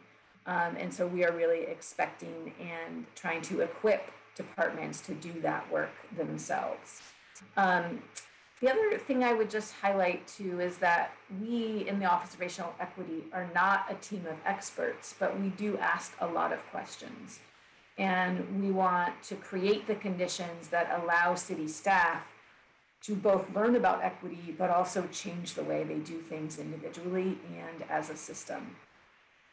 For those of us who are white or have been working within systems like this for years and years, there's a lot that we can't see at first. Um, for many city staff, we're just, they feel like they're just doing their jobs, but that job is occurring within a white supremacy system. And so it's hard to see that at first. And quite honestly, it's hard to say that at first. But once we help people see it, we can't unsee it. And so that's where the real work begins. Um, basically, it's really our focus in the Office of Racial Equity. It's our job to make sure that racial equity is everyone else's job as well um, within the city. So, we want to talk next a bit about um, what our approach is um, and our philosophy. So, it's multifaceted, but there are a few pieces that we specifically want to highlight. One is that we want to focus on real, authentic systems change. So, not check boxes, not optics, um, but that it is everyone's responsibility to make systems change. Um, at the same time, we acknowledge very deeply that change happens at the pace of trust. So, this process will take time, um, more time than we would like, um, but we know that it will take time. And, and part of our approach is to go slow in order to go fast. Um, another piece that we that I have talked to a lot of different departments about is that racial equity work is not about doing more work, um, but about doing the same work very differently. Um, and it's the way we should have been governing all along, though most, if not all, local governments were not governing in that way. Another component that we focus on is is truly listening to the experts among us, um, and those experts are often um, communities of color um, and communities who are directly impacted. So we see our role as the internal sort of interrupters and the thought partners with other city departments who are also focused on accountability. Um, and again, to really focus on internal partnerships as well as external partnerships. The last thing I would sort of leave you all with in terms of our philosophy is that um, we expect um, that the Office of Racial Equity will make mistakes. Um, we know that, and we ask in advance for your help in preventing those mistakes, but also learning from the mistakes and moving forward um, together. So with that, our, our overall goal is really that we embed racial equity um, in such a way that it will simply become the way we do business in San Jose um, and not something sort of an add-on or something in addition. One thing that we have also found um, as we engage in this work is that there is a more productive way to frame many of the questions that come up um, especially if we want long-term change, long-term change, and we want partners in this work. So we highly encourage all of us to sort of stay on the right side of this image you see before you. Um, it's not only what we say out loud, but also that little, what the little voice in our head often says, right? So we have to retrain that voice to think about things differently um, if we want to make long term change. Um, and just to emphasize what we mean here, it's really about shifting from blame, right? Sort of who's a racist to causes. What's the deep cause? What's the root cause of these racial inequities? Shifting from intentions, well, what did they mean? What was their attitude? To the actual effects and impacts, right? What were the actions? What were the impacts of this? Um, shifting similarly from prejudice to systems what made them do that what were their beliefs to you know what were the institutions that were ultimately responsible for these impacts we see and then also um, from grievance to solutions right our goal is really to focus on what are the proactive strategies and solutions the system could implement and with that i will pass on to sabrina so this is probably where you guys are itching to get to um, these are, are the same kinds of questions that the Office of Racial Equity is trying to integrate into city systems, as Stephanie was talking about. Um, so this is really about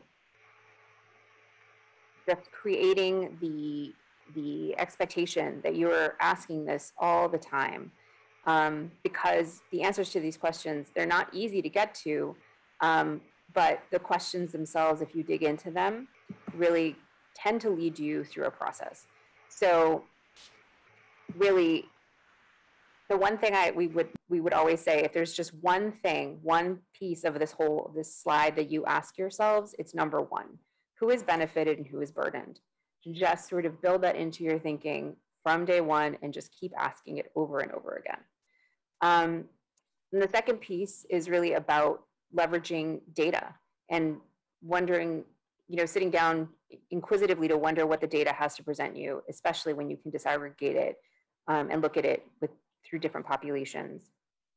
Um, and then number three actually is sort of an extension of data. It's just a different way of thinking about data. Um, what do community voices and lived experience tell us? So you, you have data as we traditionally think about it, numbers, statistics, trends, um, and that's important. And it can lead you to making some assumptions and um, you, can, you can even think about some solutions, but it's really important that you vet your expectations and really look for depth um, from community because these are the people who are experiencing this. So they are the experts on it and they can tell you where your assumptions may be off or if one solution is better than another. And that is actually very helpful if you are designing a program or um, a, a policy or anything that's meant to help the community because they will tell you ahead of time whether the solution isn't going to work for them. And then you don't have to come back and try to do it again later when you implement it and realize it isn't working and then wonder why and then just come back to finally redesigning it. So number four is really about getting very deep on a question. And one way to, to, to do this is just to ask why five times. Just ask yourself, take one particular aspect of a problem and dig into every single answer you get with a why to really get down deep. What systems need to change? It will tell you ultimately sort of what the problem is and, and where things are rubbing up against. And then finally, Number five is really important because accountability is certainly about ensuring that you are giving the information back to the community, but it's also a way of establishing trust, of showing that you have gone, you have asked, you have taken it into consideration, and now you are coming back and explaining what you did with that information.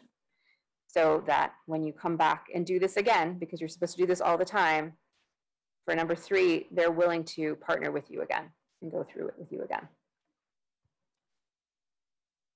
This is now where we're getting a little bit more specific into our thinking on, on how this racial equity work can apply to your, what you're mandated with. Um, and I realize that you may have thought of some of this already, um, but we're really here also to help reinforce some thinking too. Um, so what kind of disaggregated outcome data have you been looking at? What is it telling you? Are you looking at voter turnout in different, with different cuts, race and district and polling place? Um, is there, do you see institutional racism showing up in any government systems? Um, those are just some suggested initial questions from us. and then, and I have to say, I don't know if anyone's hands are up yet, but we will take some questions at the end. I just wanted to address that now. Um, and I'm getting close to the end too. So the second point here is, um, this is really again about that number three on the previous slide. Who have you been talking to? And how have you been talking to them? And when have you been talking to them? And in what languages have you been talking to them? Those are important details when it comes to sort of making sure that you are speaking, that you know you're speaking to as broad a, a representational group as possible too. Um, and then what is your plan, again, for explaining what you did with their input? This is about trust, like I said. So it's also about showing that you valued their time. They didn't just come in and tell you some stuff because they thought it was important and then you didn't bother to come back and more or less say thank you. And then our final slide is some additional suggestions for your work. So this idea of double checking language and terms is something that we keep coming back to as we do the racial equity work ourselves. Whenever you're feeling stuck, it's important to go back to the terms that you're talking about as a group and see if maybe you have some different assumptions underlying those definitions. Um, because sometimes that is what gets you stuck. You're just you're trying to solve different problems or you think you're talking about the same solution, but you're actually talking about slightly different ones. So that's one general strategy we recommend. Um, also important to, with this through number four here, our understanding is this, you guys have already sort of looked at these three subsets, governance structure, timing of elections, accountability, representation, and inclusion at City Hall. And that's sort of how you're thinking about dividing up the work because that was how it was mandated to you by I number the first and the second one of those two, governance and timing, those are fairly well defined. So thinking about accountability, representation, and inclusion, I'd really say that there's a couple of ways you guys could think about approaching this. Um, one would be to have each group look at the charter and bring back sections that you think relate to this when you're thinking about equity. Um, you could have one person take a look and sort of bring it into a small group and have the group discuss based on that person's perspective. You can also broaden this question out beyond the charter and ask the community for their suggestions. Um, I understand that that is something that you guys have been sort of discussing and trying to figure out. So that is a possibility um, and not a bad one. It's okay we would say it's okay to make broad recommendations without specifics. Um, because it, it can be really daunting if you think you need to come up with specific solutions, but that's that's what the administration is for. So if you guys feel that there are broad policy recommendations you want to make um, and council agrees with you, they can just direct staff to come up with solutions and bring them back to council. Um, more specific solutions and bring them back to council So that was our very quick rundown for you guys, um, but we, we're already over time. So with that, are there Thank any you. questions? Yeah, thank you both. I'll um, call on some commissioners, and uh, I want to call on Commissioner uh, Marshman first, and then Commissioner Train, I'll get back to you. But uh, uh, also want to make sure that we hear from as many different commissioners tonight as we can. So Commissioner Marshman. Sorry, I'm, have, I'm having an internet issue here. So if I pop in and out, I apologize. Um, I'm curious, the, the uh, streetlights uh, was a very good example of the kind of difference this can make for, for neighborhoods um, and for different groups.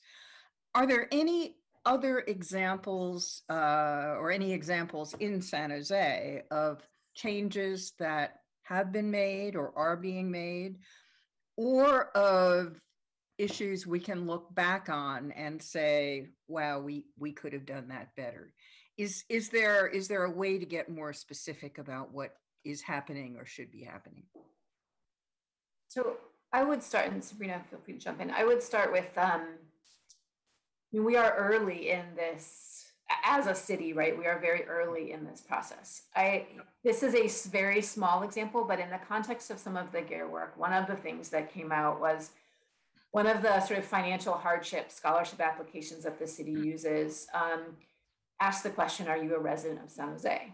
Seems like a pretty simple question, but when you translate that into Spanish, that, and Sabrina, I might ask for your help here, but um, the language, when you um, translate that into Spanish, creates a lot of fear around, are you a legal resident, right? For undocumented people, just that sentence um, creates a lot of fear and barriers.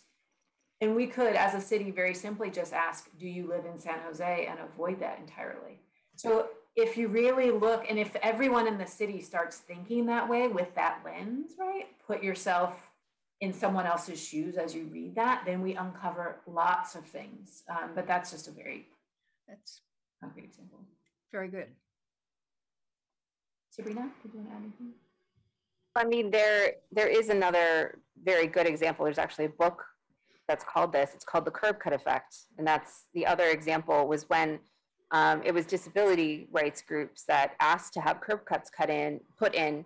And yes, obviously the curb cuts when we started doing that as a country was wonderful for people with disabilities, but it turned out that it also helped mothers with strollers, people, delivery guys who had dollies, uh, business people who were, you know, rolling things after themselves, people who were travelers. It ended up having all of these ripple effects that we weren't expecting, but that it really just made life better for all of us. Great, thank you. I'm going to go to Commissioner Meitzke. Yes, thank you for your presentation. Is a bit of a detailed question, but I'd like to get your thoughts on, you know, right now, one of the questions we're looking at is if the mayor election should be on um, presidential election years or off presidential election years because you have more people voting on presidential election years. So currently for the district, the council districts, the even ones are on presidential years and the odd ones are not. And I was wondering if we should use an equity lens to kind of look at that question of which districts should have elections on presidential years rather than just going the simple route of odd versus even. Is that something that would make sense um, in terms of looking at the makeup of that particular district? And if it if you get a better equity outcome by having more voters on the presidential elections? Just your thoughts so to your first question of should you apply an equity lens yes. Um, but in terms of what that looks like having not done that analysis i am sort of hesitant to provide a sort of specific um, response. But in general, yes, we would want to look, and some of that starts with looking at data, right, by those different districts, um, which will help inform that. Um, so I hear you, right? Like even an odd is somewhat arbitrary, right? So if you really want to apply an equity lens, then starting to unpack that a bit more and ask the same questions that Sabrina talked about, right? Ask, try to come to get to the root cause of that and ask the why questions um, multiple times. Do you have additional thoughts? Anything to add? Okay. Nothing. Great. So uh, in the spirit of just um, continuing to hear from folks we haven't heard from yet, I'm going to go to Commissioner Amador, and then I've got Commissioners Fuentes and Sanchez. Great. Thank you. And thank you again for being here and taking this time to go through pr that presentation. Um, that was really great. But um, I do have a question on, is there a current toolkit right now that the Racial Equity Office has adopted or that is using or that is uh, implementing in other departments? I know that um, it's fairly new, this apartment and that you guys are talking about it with different other departments within the city, but is there um, a toolkit yet and possibly that we could even adopt here um, to really look at the impacts and the burdens that any decision that we make or that we start analyzing moving forward might support through looking through that lens of equity, racial equity? Well, we we certainly have sort of we've came, we came up with um, a couple of worksheets that we've used for the budgeting process, which we could share with you guys, um, and we have a resource, an internal departmental, like an intranet um, resource list for staff who are interested with a variety of things in it. And um, I was commenting to Stephanie as we were putting together this presentation that I was really frustrated when I first started, um, even pre-GARE. So it was the year before, 2018, when Zulma and Stephanie were going through the learning year, um, because I wanted an answer. I got in and they, you know, at, we were asking questions. What do you have? What can we use? And they kept coming back with like, here are the questions. And we, and I was like, what? But now that I've been doing this work for a few years, now I understand that the questions that I shared on the A slide, that really is the toolkit. Um, it the problem is it doesn't it doesn't give you like an easy answer because you have to go out and find the data. You have to go out and find the communities. You have to make sure you guys are defining the questions clearly for yourselves so that you know what you're all solving for together um, and what the parameters are. So it's a really messy thing which is why it's hard to really give something more concrete than that. But what we do have we would be happy to share. Anything to add stephanie I would say, um, I believe someone um, in the commission shared the GARE toolkit as well. Um, I mean, that is, it's a lot longer, but it is basic. I think there's six steps we left out, sort of the solutions one, but um, in our slide. Um, I mean, those really, that is the process, right? And it's, as Sabrina said, it is, it is actually a process, right? It's not just sort of spit something out, right? There's a lot of iteration, there's a lot of checking back in with community and understanding, did I understand this correctly and how should I explore this more deeply? Might not be the answer you wanted, but I think it's the answer that we have come to from sort of trying to unpack a lot of these issues. And it's also what we're trying to um, to move the city towards, right? If every person in the city asked all of those questions as they're making decisions, um, it would be a different result. Um, Thank you. So uh, continuing the spirit of making sure that we hear from folks we haven't heard from yet tonight, I'm going to go with um, Commissioner Borrucio, and then I want to uh, get to Commissioner Fuentes, and then we're going to need to wrap up and move on.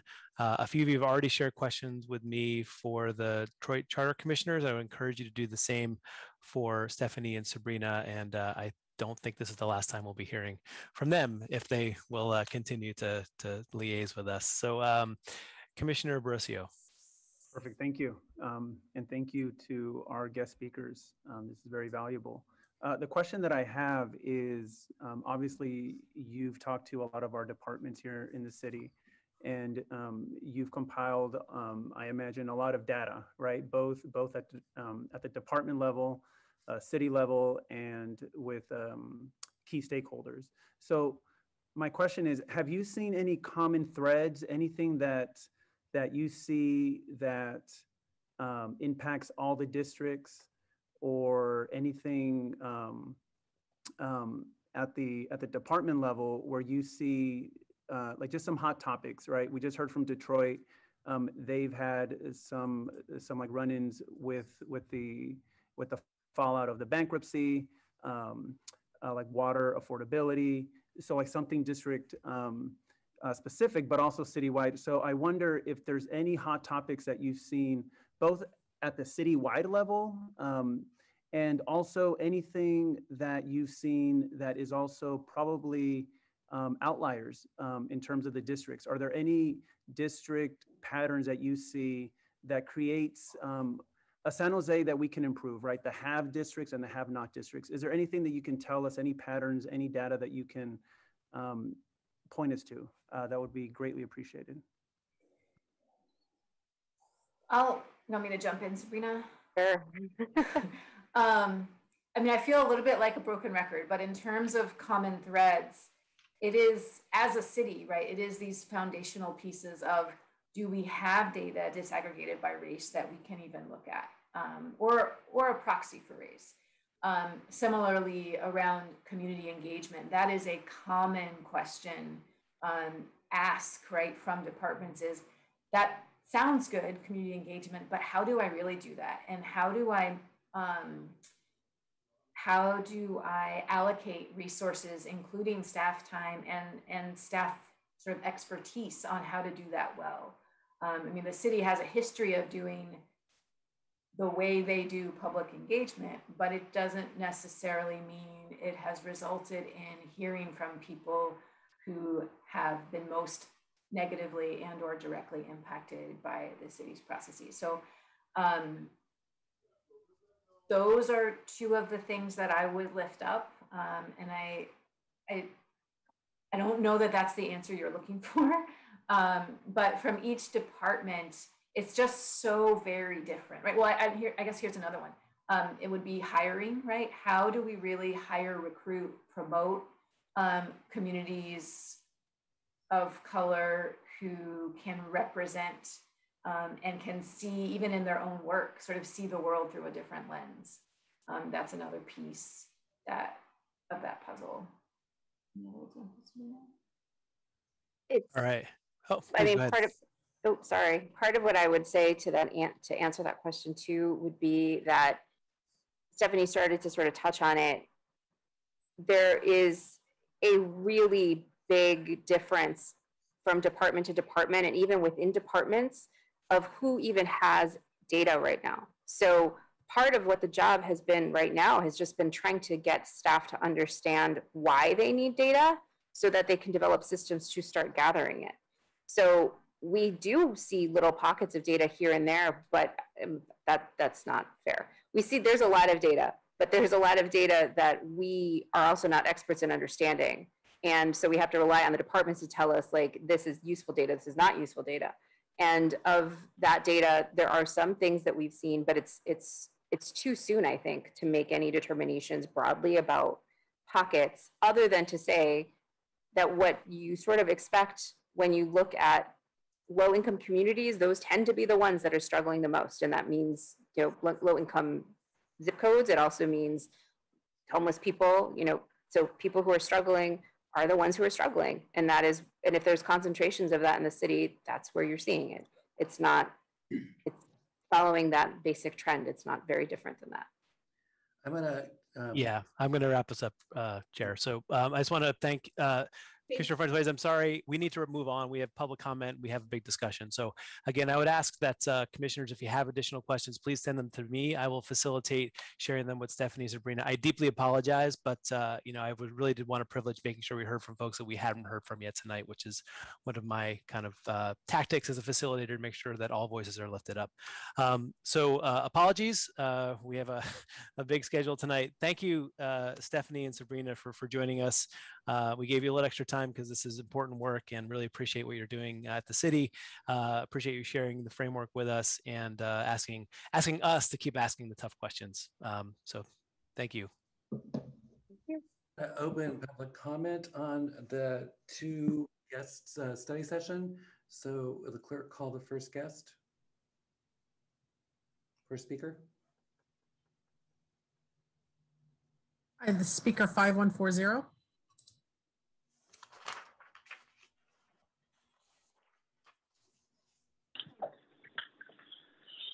Let's see, Detroit.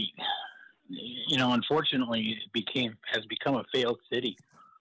Uh, it was a wonderful city once upon a time. It was the envy of the United States, and now look at it. And these are the people who are gonna you're gonna take guidance from. I find it a bit strange.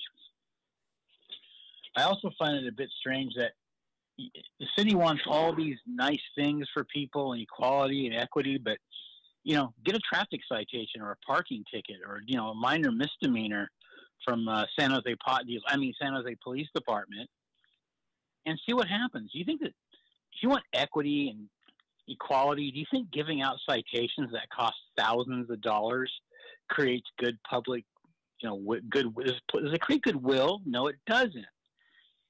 And do you think just because you hire some minority people that this is going to make it better when you get a code citation for having a shed in your backyard or a flagpole that's too high or you're driving over potholes? I mean, you guys need to do a lot more things before you can even move on to equity because you run a fascistic city at the moment anyway. So all you're doing is is uh, using this sort of vocabulary to make it look good while you're arresting minority people, taking away their guns, taking away their marijuana. I mean, guns and marijuana are are legal from what I understand. Second Amendment and the way you got the ordinance are passed, marijuana is legal. But somebody of color has it, man. You guys broadcast it on Twitter with pictures and everything, and who their names are. You guys should be ashamed of yourselves down there. You're not doing anything good good for this town. I'm driving over potholes. You know, uh, m- uh, uh, my Vietnam veteran neighbor had to take his flagpole down because it was an inch too high because of code enforcement. You guys are trying to put a rainbow flag on o- o- over a swastika. I'm telling you, you guys need to uh, decriminalize driving, decriminalize smoking cigarettes, decriminalize open container alcohol, decriminalize uh, these rid- these ridiculous parking tickets. Next speaker, please. Claire Beekman. Hi, Claire Beekman. Uh, I was a little late to the meeting tonight. Uh, the city of Oakland is working on their issues of uh, equity and reimagine uh, and defund for their community future. It's really interesting work. And so I was a little late. I I sent you guys a letter last week to Toni Taber. I hope she mailed sent it to everyone that, uh, or at least to the chair and hopefully to everyone, that um, it's my hope that the public meeting process here has a bit more uh, public forum to it. Uh, you could easily, in consent calendar and meeting minutes, the, pre- uh, the previous meeting minutes, that can easily be a place that also has letters from the public usually. That can easily be a place to have a, a, maybe one minute public forum where people can, you know, address, uh, you know, issues of previous meetings and, and, and general topics before the start of you going into items, because that can give a uh, kind of a, a, a a tone for how you can address your items that you've been working on all along for the past few weeks, and that everyday public may, has not had that privilege to be a part of. And it, it sets a good tone, I think, for how to what to expect for for the for the remainder of a meeting. And uh, how you can work and and to have public comment immediately after uh, uh, you have guest speakers instead of going to your own panel first uh, the own your our own commission that also is an important concept of the public meeting process that you're not respecting and that i understand you know the study process is a respectable way to work and it creates a studying feeling but i think you need comment from the public first. That way, even the speakers, the guest speakers can hear ideas and concepts. And uh, that's, that's, it's important stuff and it's subtle, but it's good to work on. Thank you. Roland. Good evening, Mr. Chair. Uh, Good good eve- good evening, uh, Commissioners. Thank you for your service. Sometimes I think you you deserve uh, danger danger money for serving. Uh, But going back to the prior speaker, I I think a good compromise, what many cities do, you get a present staff presentation, then you go to uh, committee questions, then you hear uh, from the the public, and then you close off with with final comments. And if somebody could mute themselves, I'd really appreciate it. Uh, moving on to tonight's business, I, I personally did not really, uh, Toby, I'm not seeing my clock.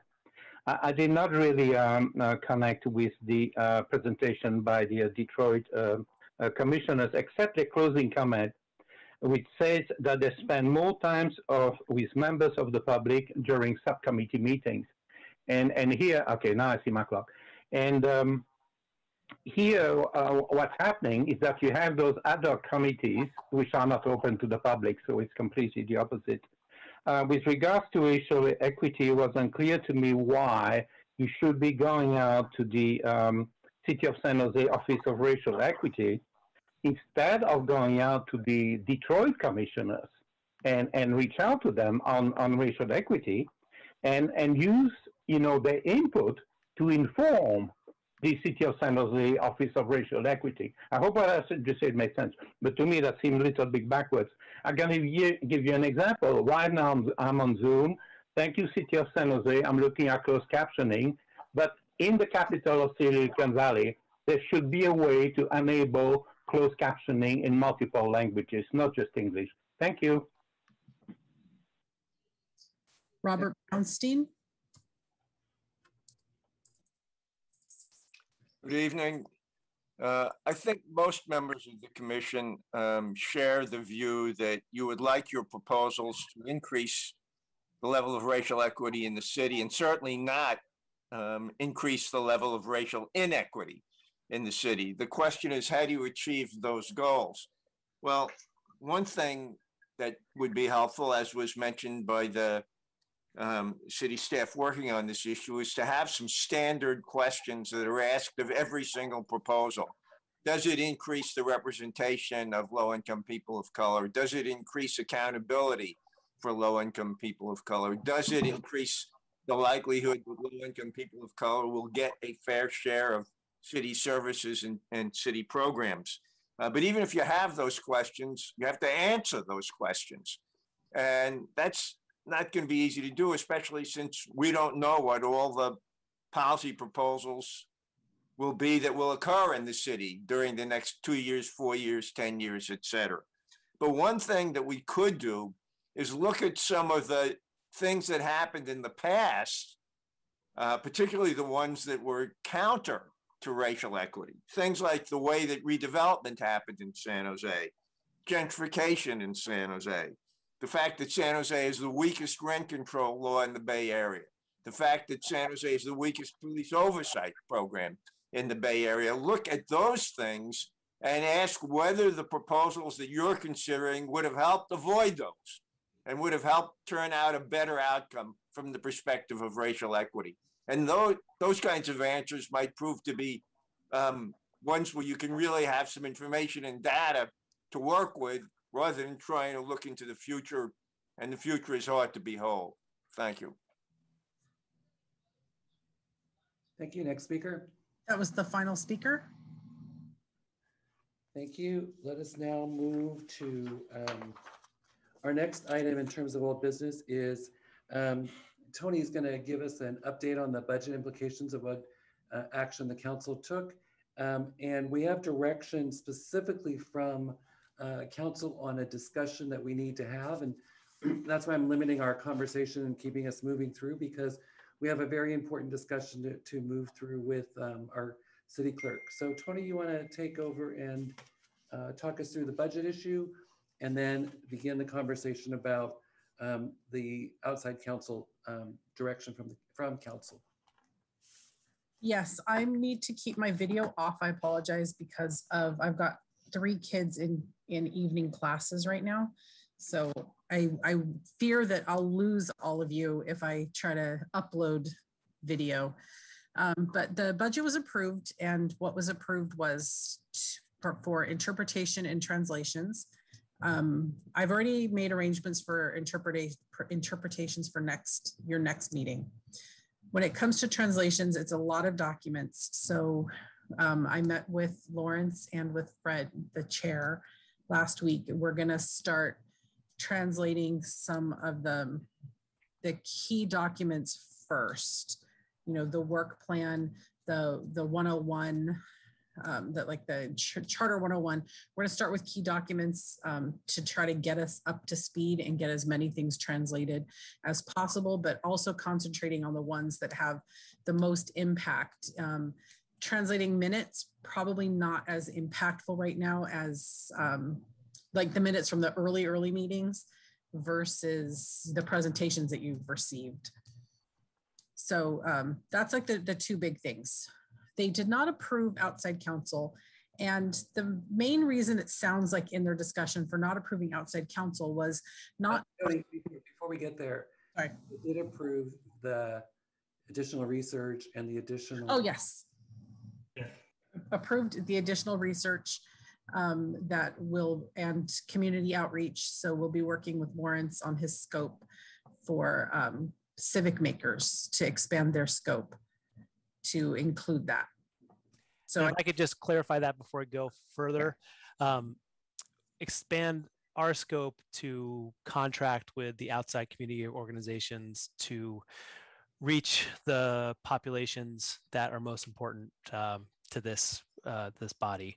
Uh, also, to work with those organizations to help us develop the materials that we want to translate to make sure that what we're putting out is being framed in a way that those communities can understand. So basically, one of our next steps is going to be working on a, um, a draft community engagement plan um, that would leverage the um, the advice, help, uh, consultation, and outreach services of, of local organizations. So there's more to come on that. Uh, there's been a lot of input from you all. I'm going to try and reflect that as best we can. Um, but I just wanted to, to do a quick interjection on, on that front. Um, and I'll turn it back to, to Toni about the, the outside counsel. Right. So the outside counsel is the part that um, nobody quite understood. I'm going to actually try. I'm very uncomfortable not having the video on, so we're going to give it a shot. It's it's almost distracting to just speak into nothing. That feels so. Um, they were partially supportive of outside counsel, but they couldn't figure out why you needed outside counsel. So that they instructed me to come back and talk to you. And what I would like to do is to hear you guys articulate why outside counsel is important to you. And then I want to read that back because I think we had a lot of generalized conversation about it, but nothing that we could really just like concretely say, this is why they want out, why outside counsel is needed. You know, they looked at whether or not it's a conflict of interest and they said it's not a, um, the feeling is the city attorney does not have a conflict of interest in this particular um, discussion or in the charter review.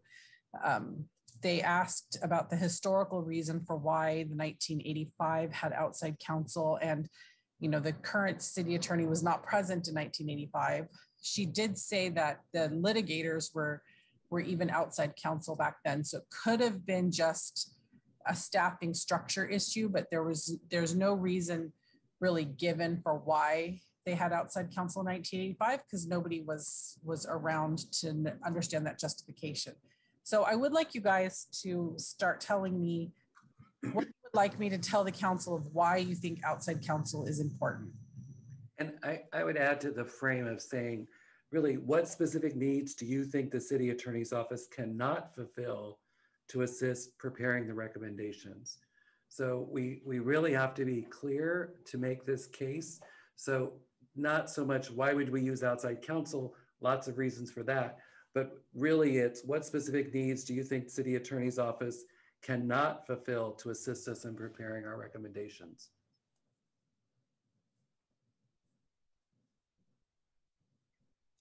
Uh, I see Commissioner Fuentes.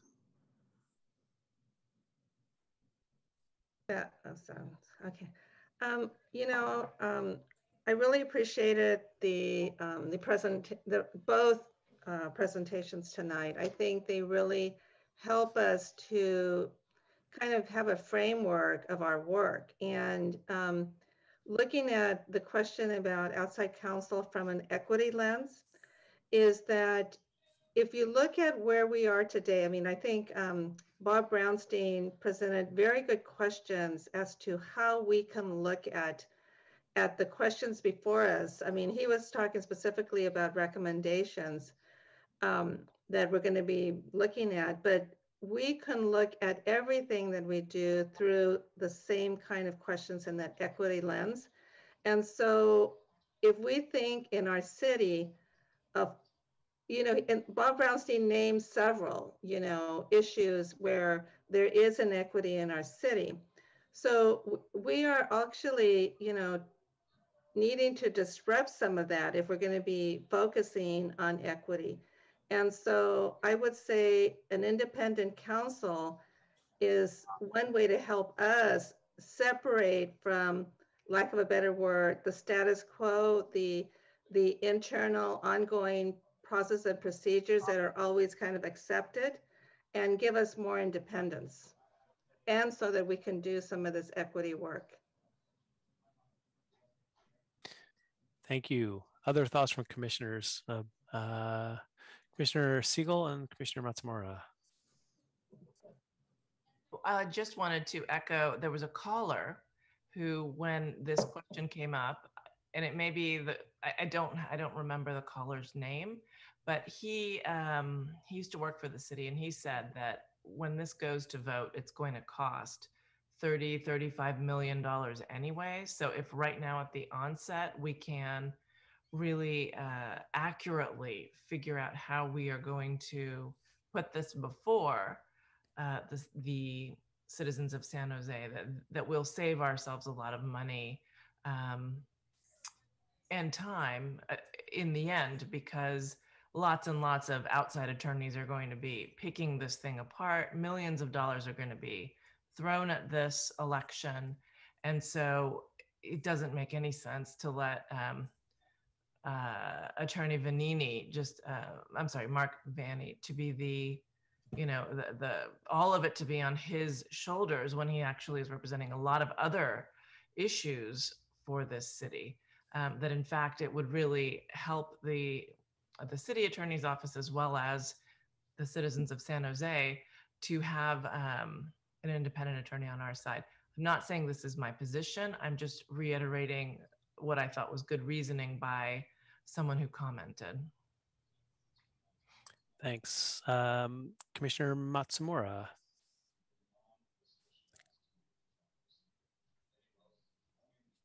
Uh, we can't hear you. Thank you. Here. I think it was very helpful to hear about this from Mr. Satchel in, in Detroit. Um, you know, and I, I think he spoke to sort of an intrinsic awkwardness at best, right? That what what he said is that it is the job of the city attorney's office to work for the city of San Jose, and it is the job of the elected officials, the mayor and city council, to define what that means. Ultimately, they are the leaders defining what are, what's in the best interest of the city of San Jose. And so it's, it certainly puts the city council and the city attorney in an awkward position to be the ones to say, yes, it's appropriate for the commission to, to have outside counsel. Um, and yet it sounds like in Detroit, there's been a, a general person's agreement. And so, you know, the question would be why, why don't the mayor and, and council want us to have outside counsel? Just recognizing that there is that inherent challenge. You know, and if I, I think about it personally, would I want my own attorney to be hired by someone else and to report to someone else? Bottom line, we need, this is a complex legal issue and we need legal counsel uh, working, uh, as Mr. Satchel said, in close collaboration and complementarily to uh, the Office of the City Attorney, um, but to be working with us. And um, you know, I think one of the challenges is what I did here in in the City Council debate is it seems that there was some openness to this this issue if a conflict of interest were to arise. But the problem is, unless we encumber the money now and begin an RFP process now, all, all of that could take months. If we wait until a conflict of interest arises, it could take literally three to four months to get funding and do an RFP process. We need to have those resources lined up already. And we need to, to establish a way that we can make a determination of what the scope is necessary for outside counsel and, and where we're going to determine that that's, that's the support that's needed and have a clear delineation of roles between outside counsel versus the, the support that we've been receiving and look forward to continuing to receive from Mr. Vani and the Office of the City Attorney. Thank you. Uh, Commissioner Bruce.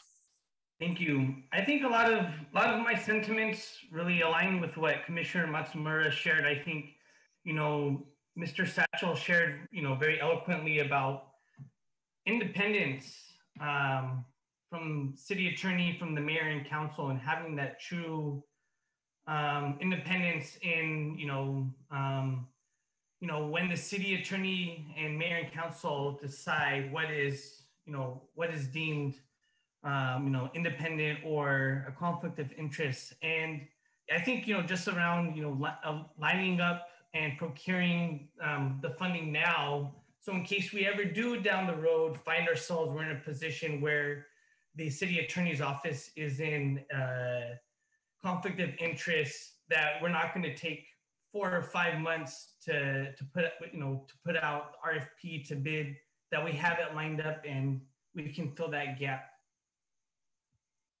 Thanks. Um, additional thoughts from commissioners about this question?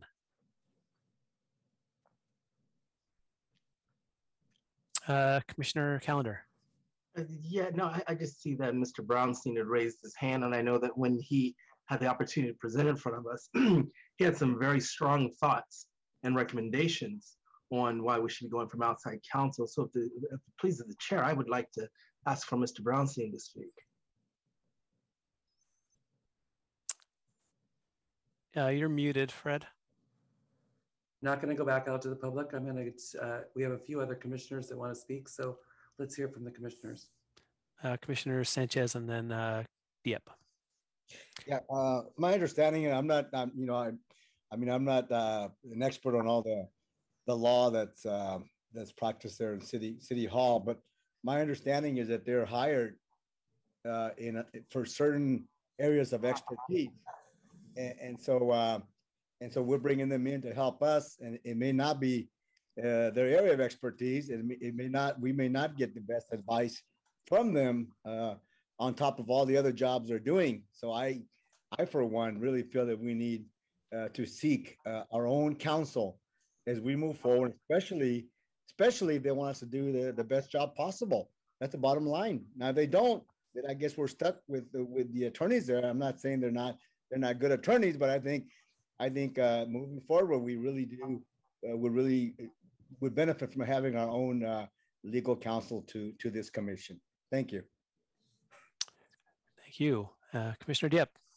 Yeah, I, I just want to raise for the uh, commission's consideration that um, when we talk about like conflict of interest, it, it's about you know uh, parties groups being in adverse you know conflict with each other, uh, some sort of argument, and we're in the context of San Jose different than the city of Detroit. I was listening to our previous speaker. Um, you know, the, they have independent counsel because they're running a campaign to go directly to the voters to, to change the charter.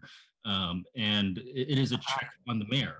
Uh, whereas in San Jose, our process goes back ultimately to the council anyway. We're making a recommendation and the council can accept everything. They can amend a recommendation. They can uh, not take anything we recommend. So we're essentially writing a, a, research paper to the best of our ability to form the best uh, recommendations we can. And in, in, that context, I don't know that there would ever be a, a conflict. Um, you know, uh, different than the Detroit mayor, uh, our mayor can't hire, fire, and do the things that we're discussing right now. Uh, so there's no, there's no, at least for now, there's no need for a check. I don't think. So I just offer that in, in light of what we heard from Detroit. Thank you. I see Commissioner Lazat has her hand raised. Yeah, I was going to say something similar to Councilmember Diep. Um, you know, the Detroit model is completely different from what we're doing. In Detroit, there are elected officials and they are uh, able to hire and fire their own staff. We're an advisory body to the council. That's all we are. And as Ms. Diep said, you know, we're going to give that the council our best um, shot at what they're asking us to to look at, and they can either take it or not. Uh, with regard to the to the counsel, um, you know, he's he's assigned to us to help us. I don't understand the adversary position that's being taken with regard to our counsel. Um, he's going to be helping us uh, with our duties and to help write whatever it is that we want to bring to the council we're going to have the opportunity to review what he's going to write uh, before it ever goes to the council. So it's it's I just don't understand the the, the issue at all. Uh, there is no conflict of interest, although the council did say, you know, unless there's a um, a palatable conflict of interest or some other concern, you know, that they were going to stay with the city council. But if another if if the conflict of interest, I don't know how it would possibly happen, or some other concern came up, then they might um, look at the issue again. Uh, but you know, I, I, don't think we can really compare what we're doing uh, with um, the the city of Detroit and uh, their their absolute necessity for outside counsel. I would have supported outside counsel if I was on their commission. We're totally different. Uh, we're advisory to the council only. Thank you. Um, additional thoughts? anything that you would like council to hear from this commission about general counsel. Vice Chair Johnson. Oh, thank you, Lawrence. Um, I think because we are an advisory council, that it is important, even more so, to remove undue influences. And I think that's why some of the commissioners are, um, you know, asking for a general counsel. I think the optics of this is also important too, especially if we're going to look into engaging the public more in this process. And those are my two cents. Great, thank you. Uh, last call. Um, again, um, City Clerk is asking for you to help clarify the request from this commission uh, for additional funding for general counsel. So this is your this is your moment to to to help bolster the argument. And if we don't have any more, Toni, do you want to re uh, report Yeah. back what you heard? Let me read back. Um, it obviously needs to be wordsmithed. I was writing as fast as I can. Um, one, Maria said that independent counsel will separate the CRC from the ins- internal status quo to do work towards equity. I have from Magnolia, um, because when this goes to vote, it will cost a significant amount of money. Um, it would be good to have outside counsel ahead of time because it- the outside counsel, other outside counsels are going to pick apart the, the commission, the, not the commission, the measure. So it'd be good to have an outside perspective ahead of time. And then from Ellie, I have that it's good to get ahead of it, ahead of any potential conflict of interest, encumber now, do an RFP now. So if a conflict does come up, we're ready to go. Um, and she also said that um, it's the job of the city attorney's office to work for the city of San Jose, so it puts the city in an awkward position. Um, and that you need legal counsel to work for us. Jeremy um, echoed the getting ahead of any conflict of interest um, and doing encumbering and doing an RFP early. Um, George Sanchez said that um, city attorneys are hired for certain areas of expertise. So we may not have an, a currently staffed im- attorney that for whom this is their area of expertise, whereas we could get that from outside counsel. And then I wrote down the comments from um, Linda, and Linda. Um, do you- I don't know if you want me to repeat those back because they were um, not supporting outside counsel. Um, but Lund said that ultimately, and Lund and Linda both said ultimately council's making the decision. So we don't need to have an attorney um, to sort of craft your own independent ballot measure. And then um, Christina said to that uh, outside counsel reduce undue influences and provides better optics. Did that sound, does that sound good? Um, Commissioner Lazat? Yeah, Commissioner Lazat. Yeah, I mean, I, Toni, um, I wish you would watch the recording because I think it's important that uh, Councilmember Diep's and my uh, counter arguments uh, be heard by the council as well. Yeah, I, I will include those. And I don't, I don't think you captured them all. Okay. Thank you.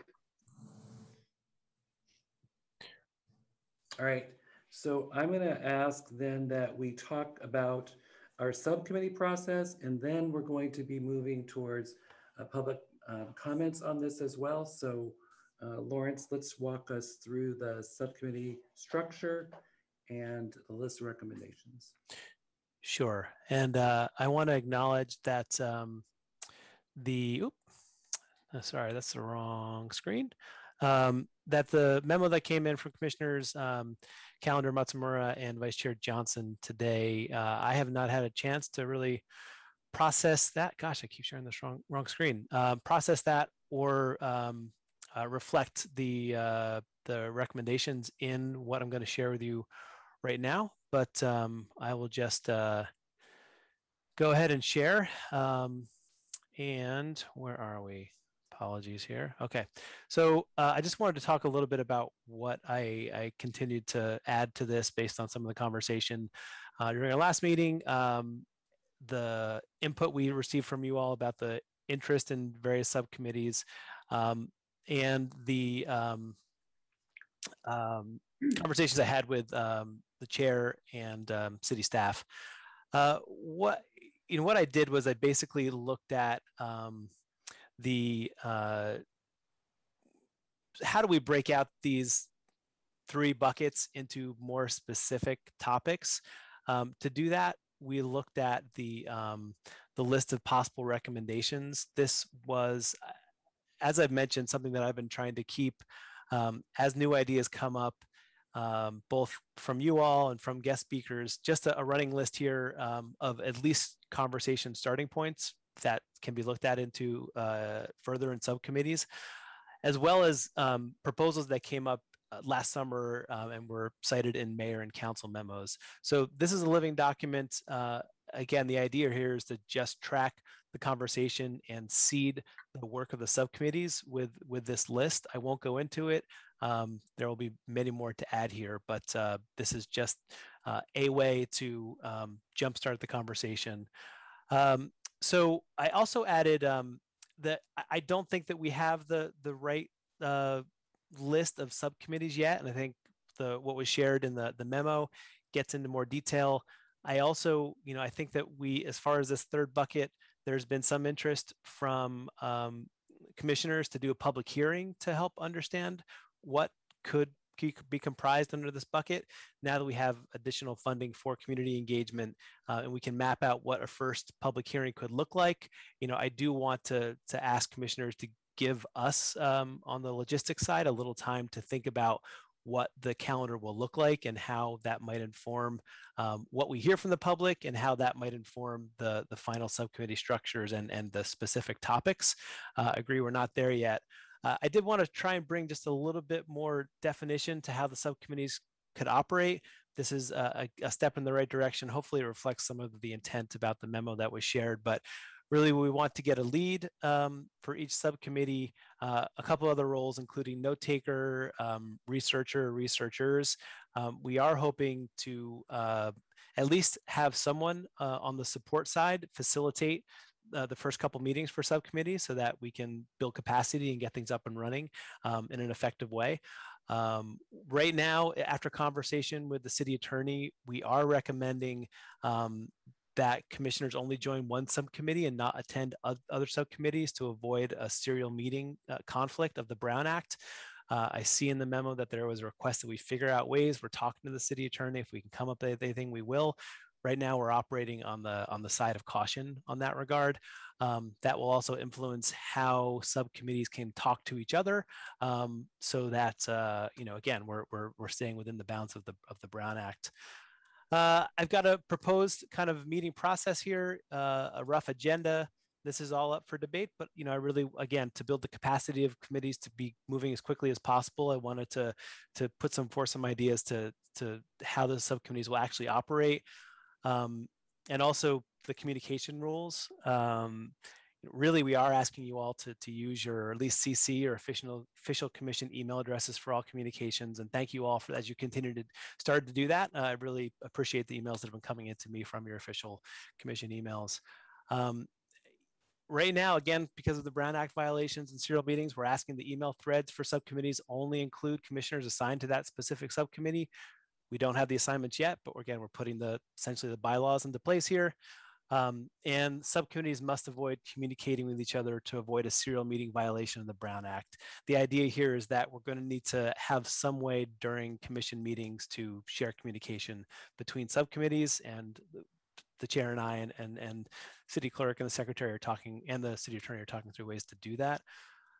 There's been some um, uh, requests for specific specific topics or additional research, and I think some uncertainty about really how this whole subcommittee process is going to work from commissioners.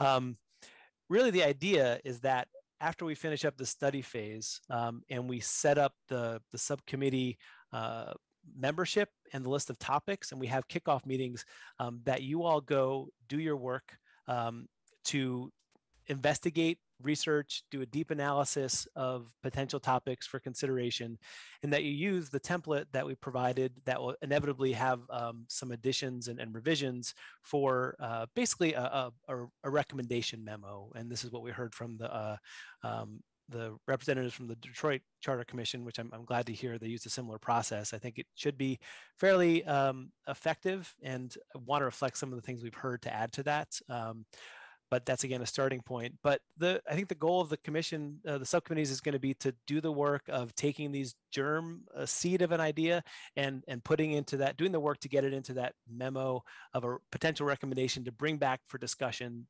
but for the full committee.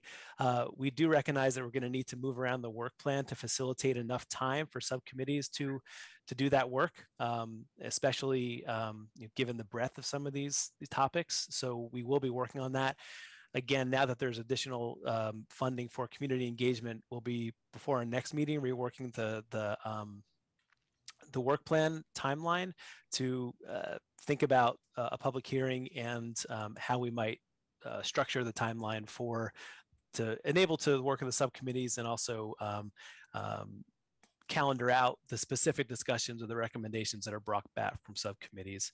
Uh, but really, you know, my hope is that each subcommittee can provide brief, regular written reports for the full subcommission or for the full commission with something like the following information, uh, information, um, uh, current list of topics under consideration. Sorry, that's a typo there. Um, any questions the subcommittee would like to bring back to the group, um, and then a list of attached draft recommendation memos for commission. So um, again to address the need for for the full commission but also subcommittees to be able to understand what's happening um, in other subcommittees um, we want to create some kind of flow information from subcommittees to the full commission back to subcommittees but again need to be aware of potential serial meeting violations of the brown act we'll do our best to scope that out. The city attorney, is, uh, Mark, has, has been very helpful in that regard. Um, and then again, we have the recommendations process, which um, uh, marks out at a high level what was included in the template that I shared last time. Um, and, um, you know, I think we heard some great recommendations tonight to improve this even further. Uh, the last thing I'll share is just that um, um we did a little bit of rearrangement of the, um, the uh, work plan here. Actually, I realized that um, I have a note for myself to move up election timing. and I didn't do that before I sent this out. Although this is yeah, this is the one that was sent out. Um, so uh, the the recommendation on um, the commissioner memo about moving up election timing, we agree. That was my intention actually to to put this at the top here and have more time for both governance structure and additional measures subcommittees to do their work. Um, this is a dynamic process. We're doing our best to figure it out. And like I said, I think with the um, kind of scoping out what the community engagement looks like, um, coming back to you all uh, on the 17th with a, a a really, I think, a more final proposal of what the, the next phase of work, both for community engagement and um, uh, recommendation discussion could look like. I think we're ready for that. And, you know, we, we, uh, the last thing I'll say is that, um, as I mentioned earlier, that the, the additional funds, um, the, the quickest way that the city clerk could figure out uh, how to use those funds once they were approved by the council was to expand the scope of CivicMakers to uh, contract with um, additional uh, partners to do both the research as well as the um, uh, community engagement and outreach. So uh, it's my intention to put together some thoughts what specifically that could look like, start talking to organizations uh, this week and really get that going as soon as possible, especially around um, understanding what the core materials are that we need to translate and start to uh, how we frame the messaging based on the input from the community partners so that we are um, talking about uh, this conversation in a language um, that is understood by the communities we want to listen to, uh, and that we know we understand it by uh, representatives of the communities helping us um, doing that message framing itself. So uh, I'm excited about it. I, I, congratulate you all on, on making that um, uh, that argument and and um, and the chair for for making sure that it was passed. And uh, I will do my best to to honor you know your your uh, interest in that community engagement. Um, and so please be patient with me and with us as we figure that out. Um, and I think I'll just stop there unless there was anything else that the chair wanted me to to share. No, that's it. I see four hands from commissioners and Mr. Calendar had his hand up. I don't know if it's still up, but um, Commissioner Siegel, why don't we start with you? Thank you so much. Uh, I'm a little unsure about um, the subcommittees spending so much time on topics that the majority will not be listening to, and then the majority will just be getting our overview of recommendations, but won't have had the time to really understand uh, why we reached those recommendations and all the data we may have heard or the speakers we may have invited. And so um, my question is, will the majority be voting on whether the recommendations the subcommittees make actually make it to the council members or is that just an issue for the subcommittees that is let's say a subcommittee it sounds like you know the answer already i'll let you speak. Yeah, I mean the the intention here, and I think we heard it from the folks from Detroit, is that the subcommittees are tasked with really um, uh, vetting these ideas, doing the hard work of researching it, and bringing it back to the full commission for discussion and decision about whether it should be put forth into a final recommendation um, or or not. Uh, inevitably, I think that there probably will be uh, at least some conversation about consensus, if not voting on specific things. Um, but the idea here is that um, the the subcommittees do the work to make sure that this commission has a productive conversation about a topic that has been fully thought out as much as possible by the the subcommittees themselves. The the the practical the let me how do i phrase this? The, the the reality of the situation is that we have to you uh, have to deliver recommendations by mid-december. I need to facilitate that process for you. And if we were to have full discussions of every topic by the full commission we would never get there. So we really did need to do enable um, you all to do the work um, you know in in your time outside of these meetings which is so much. And you know i really appreciate the continued um, commitment from you all to do that. But that's going to need to happen to make sure that all the topics that you want to talk about are really thought about in the the depth and uh, intention and um, nuance that they will require um, and then can enable a, a, conversation by the full committee so um, i hope that answers your question um, and i um, the kind of yeah was there a comment chair um, Vice Chair Johnson. Vice Chair Johnson, go ahead. Yep. Um, I had multiple questions. One is um, I noticed in this, this plan there isn't a talk about how the public can communicate with us. I think the Detroit commissioners brought it up how important it is for the public to be engaged in the subcommittee process. Um, two, I want more of a defined timeline on how the community engagement plan looks like, and I want to be involved in that process. Um, as vice chair. Um, and then three, I complete, oh, can we have a motion? Can I have a motion to add discussions of other memos um, to all future agendas? Because, you know, I, I feel like we want to comment on this process and we weren't really included in this. Um, so a couple things I would say is um, the community engagement plan will include the timeline. The timeline will then help us to understand when does the public hearings happen? Since we need to have the public engaged with our community partners in order to have that first public hearing. So next uh, meeting, the consultants will bring back our plan to be like, okay, here's the plan, here's the timeline, and here's where the public hearings fit in. Now that we know how much time it's going to take to engage and contract with our community partners. So I would say, Vice Chair Johnson, that that is the now that we have the approval, we've got to increase the scope of work and have the consultants work on the plan, which includes the timeline. Um, yeah, and we've we've we've waited to to continue to build out a community engagement timeline until we had direction from council. So we're there. Um, I can commit to getting you something to review by the end of uh, next Friday, as we talked about, as far as our communications cadence, so that you all have the weekend to review and we can have a deeper discussion about that next next Monday. Um, if you have additional uh, ideas, uh, um, in addition to the memo that was shared, again, I didn't have a chance to really review that memo um, since it was shared today. Um, so uh, I would appreciate direct emails or anything that you would like to see reflected. I'll do my best to incorporate it. Um, and, again, your patience because we're just trying our best, uh, you know, on a tight turnaround here.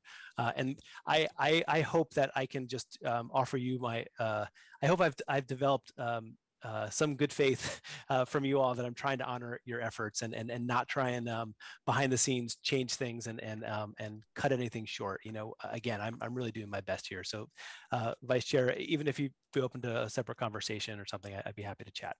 um, the other question you had, Vice Chair Johnson, was about public input into the subcommittee process. And I'm going to take that, I took note of that tonight, and I'm going to take that to the city attorney to make sure that we are clear about what the rules would be about that, if we can do that. What we're, what we're challenged by is hub and spoke rules, not just serial meeting, but hub and spoke. So we'll definitely have to answer that question and have uh, legal give us some, some answers to that as well. Commissioner Marshman? Thank you. Um, first of all, thank you, Lawrence, for for helping to get things uh, organized um, and uh, giving us a few more pointers. My concern with the committee structure is with uh, the first one, structure government, and the third one, um, basically the accessibility, equity issues, new things that can be brought up especially if there's no communication among the groups, because there are things that that those groups, uh, the third group, could deal with, and um, electing a police chief is one of the things that's been on a list, and a, a couple of other things like that, that would totally change, I think, the way the rest of city government is looked at. You know, if you were going to have police chief political office, you would surely make Eh, eh, the mayor more powerful or you know not eh, in that case if you had a a, a, a uh, city manager primary form of government you would have the police chief as the most powerful elected uh, official in the city. And um, and I'd also point to some challenges of, of this county and some other counties which uh, now um, uh, you have gone away from an elected chief.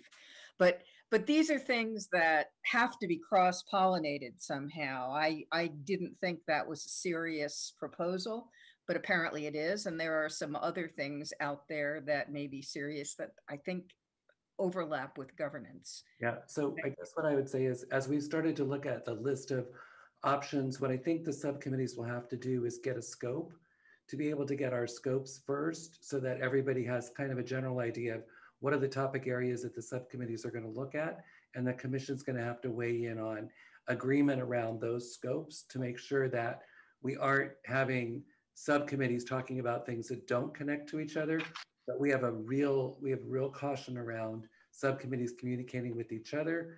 Otherwise, we're going to create a serial meeting really fast. So one of the first steps in the subcommittee process is to really be able to tease out who's covering what and then let them go work and then bring back to the full commission. Commissioner Monley. Um, yes, um, thank you very much, um, Mr. Chairman. I just want to um, recognize the amount of work that went into this um, commissioner memorandum that was delivered to us today, but I'd like to respectfully object uh, to it being presented in this evening. We should not be receiving documents that we can't have an opportunity to read. And then um, I don't, we're not acting on it, I don't believe tonight, but having it be part of our discussion tonight. There's a lot in here and kind of a lot that um, needs to be digested by us. I really request respectfully that anything that comes from a commissioner or from staff, I think we've had this request before, but it keeps going on, that we should have this well in advance of our meeting so that we can all have an opportunity. All right. Thank you. Yeah, thank you, Commissioner Monley. And we are not taking action on the memo tonight. It's not on the agenda. If commissioners have opinions that are in that memo, that's certainly their prerogative to bring them up tonight. So we're just commenting really on Lawrence's proposal, the consultant's proposal, and lots of you have ideas about that, including things that are in the memo. So we're not on the memo. I appreciate your your your piece, and I appreciate staff's uh, really being respectful of the guidelines we gave them after the suggestion of Commissioner Lizotte, and we have been sticking to those timelines. But again, when, what I said before was when other notes from the public or anyone comes in off that timeline, you'll get them, but we're not necessarily, uh, we're not going to be acting on them um, if they're not on the agenda. Uh, Commissioner Matsumura. Thank you. So um, just on that piece, I hope that we can actually discuss this process a little bit more because, and, and um, my colleagues who who are also on the memo should speak to it as well. But I see our our role as commissioners is is really to consider the staff recommendations first and take the lead from the staff. And so, you know, what what we did was first look at what had been sent to us on Friday, not knowing what areas that we had been thinking about might be addressed in the staff recommendations already, and then worked over the weekend to, to be able to submit a memorandum in time for this meeting. And so I, I am actually very concerned if we don't have a process that allows us to, to take the leadership of the staff that we're really lucky to have and appreciate, again, all of the thought and work that went into the work plan. We need to be able to take that leadership. But otherwise, if, if we can't then respond to that and make proposals and alterations for more than two weeks until the next meeting, that that really creates um, sort of a, a, delay and a slowness in our ability to operate as a commission and to work. And it seems to me that the alternative is that we're submitting memos that um, we've potentially done a lot of work on that are going to be rendered irrelevant because they haven't been informed by what staff has done. So if we're trying to submit them in time for Friday, we wouldn't have known what, what's going to be put out. Right. So I, I, absolutely understand the concern, but um, but really uh, wonder how we're supposed to provide leadership as a commission if um, if we're not able to to put out feedback on staff work and, and have that addressed in a timely manner. Um, thank you, Commissioner Matsumura, and I appreciate the hard work. And I was able to kind of get through the memo today. I, I feel like there was a lot of work put into that. Um, the challenge I think that we face as a commission is the time delay. We're posting our agendas a week before, um, and then we try to work during that week to get you materials by Friday. So the, the notion that commissioners are going to be able to digest information on that same day that they receive it uh, again, we had talked about earlier that that's probably never going to be able to happen for a full commission to be able to respond to it. So I, I appreciate the, the efforts. I would, I, I, respectfully totally disagree that it's irrelevant. Um, the notions and the issues that are raised tonight are things that we'll be working on as the, now that we have the council's approval, we'll get the work plan and you'll be able to, as you have the entire time of this commission, give lots of input into what we want to do. So the fuller proposal tonight was simply the beginning of this conversation.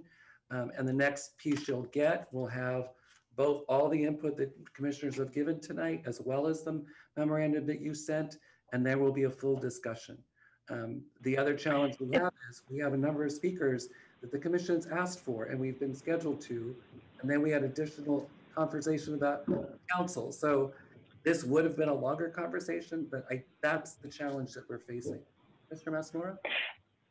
Yes, just very, very briefly. So I wonder if we can work on methods to adjust that because I, I just think it's not going to be functional to to have a two week delay more than two weeks, as I said.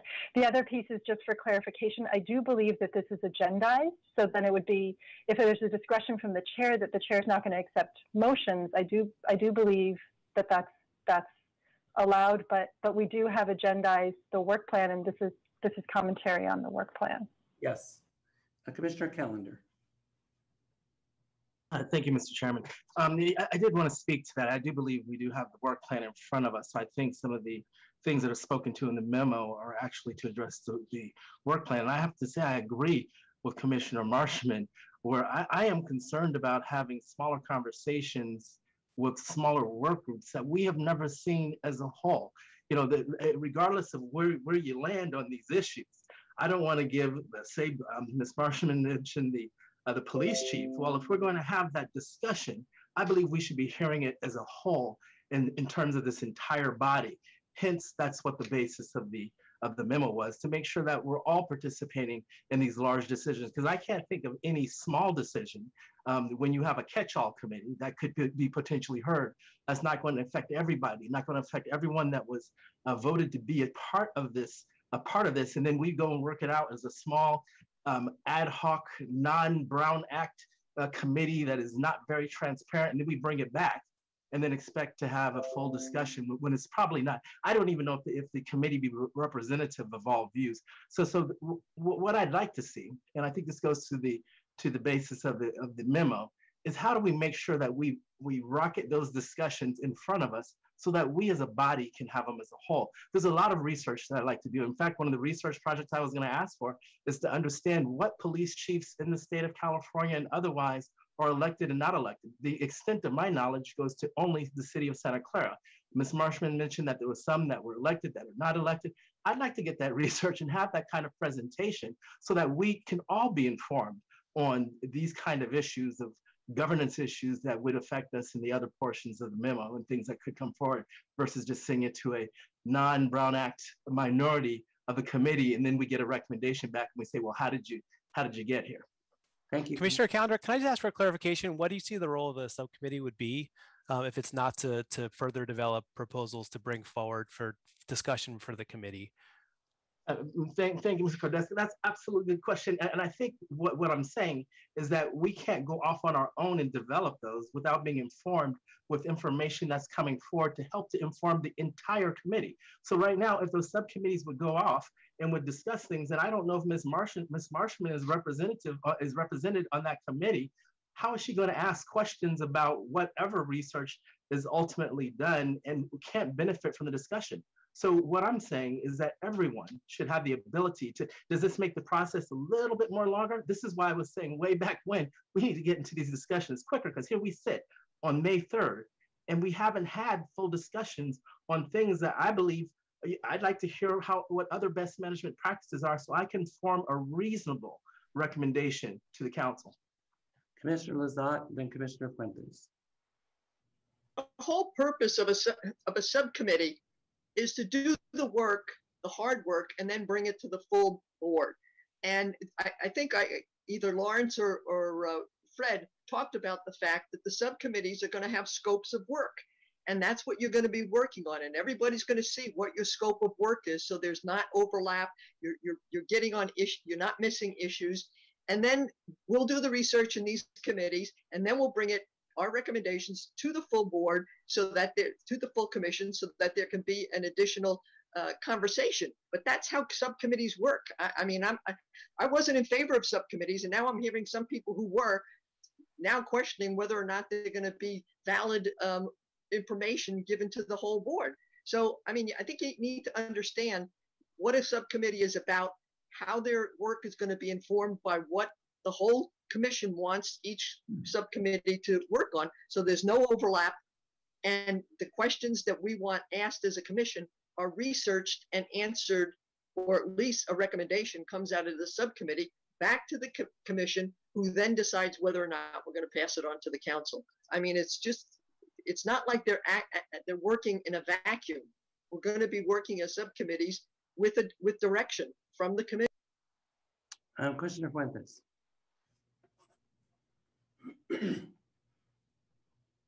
okay, my comment may be a little bit different. Um, um, for, first of all, um, I have several things I want to say. Number one is that um, after being with all of you and going through everything we've gone through on this commission, I really believe that equity is, if not the number one, one of the main issues that should be driving the work that we do. You know, in past commissions, it was like democracy, but uh, okay, and I'm not going to go into supporting or explaining why I think equity is so major to what work we do. Um, we were very fortunate tonight to get the presentation, though it was brief, on the um, the you know from the equity team in, in the city.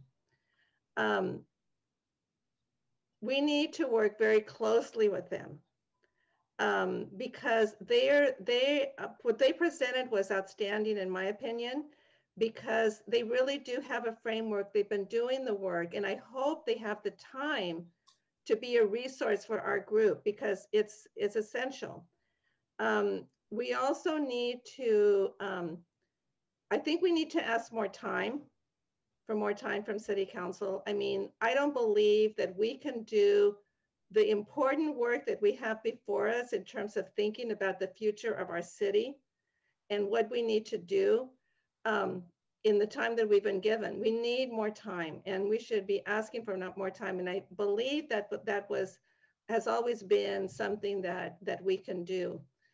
Um, and then um, in terms of, of just our process, um, I mean, we need more time to call on everyone and to hear from everybody more than once. We hardly know each other. We, most of us have never met each other, and it's very difficult to do this work to begin with, but then even more so. And so we really need to be able to hear from everyone. And I don't appreciate, I mean, with all due respect, I know that you have a challenge, but in terms of getting us through the, the agenda in, in a timely way, but I don't appreciate not being able to hear from everyone that has their hand up, even if they've spoken before. And um, let's see, th th there is something else I, I, I wanted to say. Um, um, I think that um, um, we need to give a lot more time to um, to the proposal of our work plan and really think it through, and especially passing it through the um, the staff, the equity staff. I'm sorry that I don't remember the acronym, but the equity staff, and have them look at it and help out, you know, help us to improve it.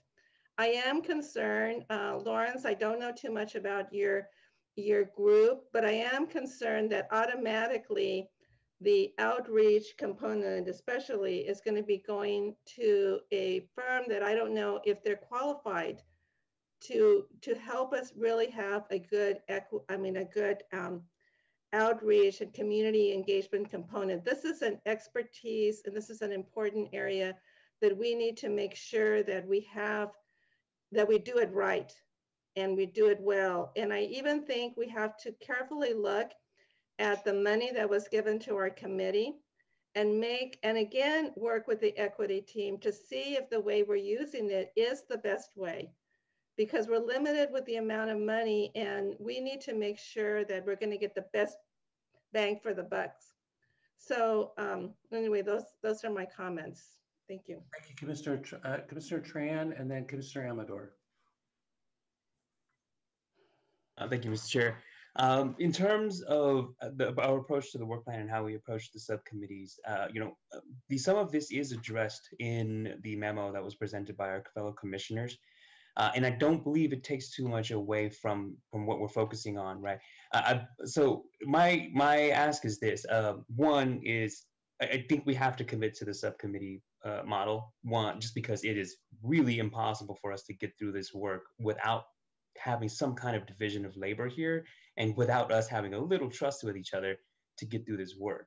Um, that said, you know, for the we i think it is important though and this is what i saw out of the memo that was presented by our fellow commissioners if we can find a way for commissioners to participate or at least listen in or at least get access to the same information as a way for people who want that have that desire to get that raw information or get that presentation um, without violating the brown act i mean i think that's that's important and, and, can be helpful. And, and uh, the big critical question is how do we do that without violating the Brown Act?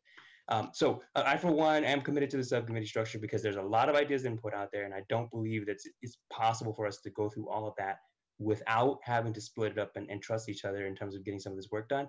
But I, I do hear, though, that if we've got folks who are very motivated to actually dig in deep on every single proposal, I don't think we hold that back from them. I think we just find a way to allow them to do that without violating the Brown Act. Thank you, Commissioner Amador. Great, thank you. And I want to just also echo Commissioner Fuentes um, on giving more time, not only just for commissioners, but I think for our public. Um, you know, when we're talking about engagement, we want to make sure that we are inviting and welcoming um, all of comments. And so I definitely want to honor that and want to make sure that we allocate after any speaker to hear their thoughts and to hear their comments before we comment on.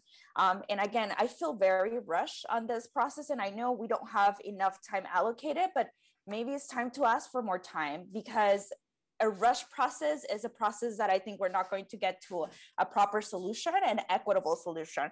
Now, when it comes to the equitable um, equity, the racial equity office, I think it's a great idea. Uh, again, uh, echoing, echoing Commissioner Fuentes, but as just what uh, the racial equity office talked about, there's already uh, some toolkits that can support us, and maybe as a as commissioners, we create our own toolkit that either we look through that lens as a whole or as subcommittees that we establish that before again deciding to go into subcommittees or being as a whole and that we present it into writing. So i think the way that i've seen this racial equity toolkit being used is that it's in writing and it's able to identify the impacts and the burdens that it that any decision is going to create moving forward. And it's not just um, it doesn't just serve us to see that, but it also serves the public to know, okay, we're taking this decision and we know what the impacts are going to be and we know what the burdens are going to be at. Um, so I just wanted to echo that as well on that equity toolkit. Thank you.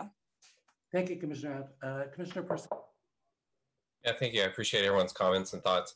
I, I just wanted to say that, you know, anytime that a body like this, uh, whether it's a commission or a city council or Congress or state legislature, you know, that the idea of breaking the, those bodies down into subcommittees, you have different trade-offs. The benefit, of course, as people have said, is that with a subcommittee, you get more space, more time for debate to really study.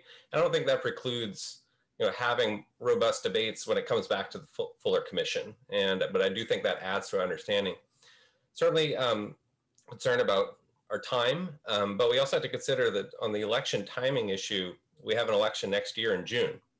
And so I would also like to ask the city attorney's office about how much time would be needed to get the recommendations of this commission to the council if they went forward with a, uh, a, a recommendation to, to put this uh, that particular issue on the ballot how much time would be needed in order to uh, comply with state law. So that's a that's an important factor to, to consider yeah, and I, and I can answer that question. So the uh, election in 2022 for June is on June 7th.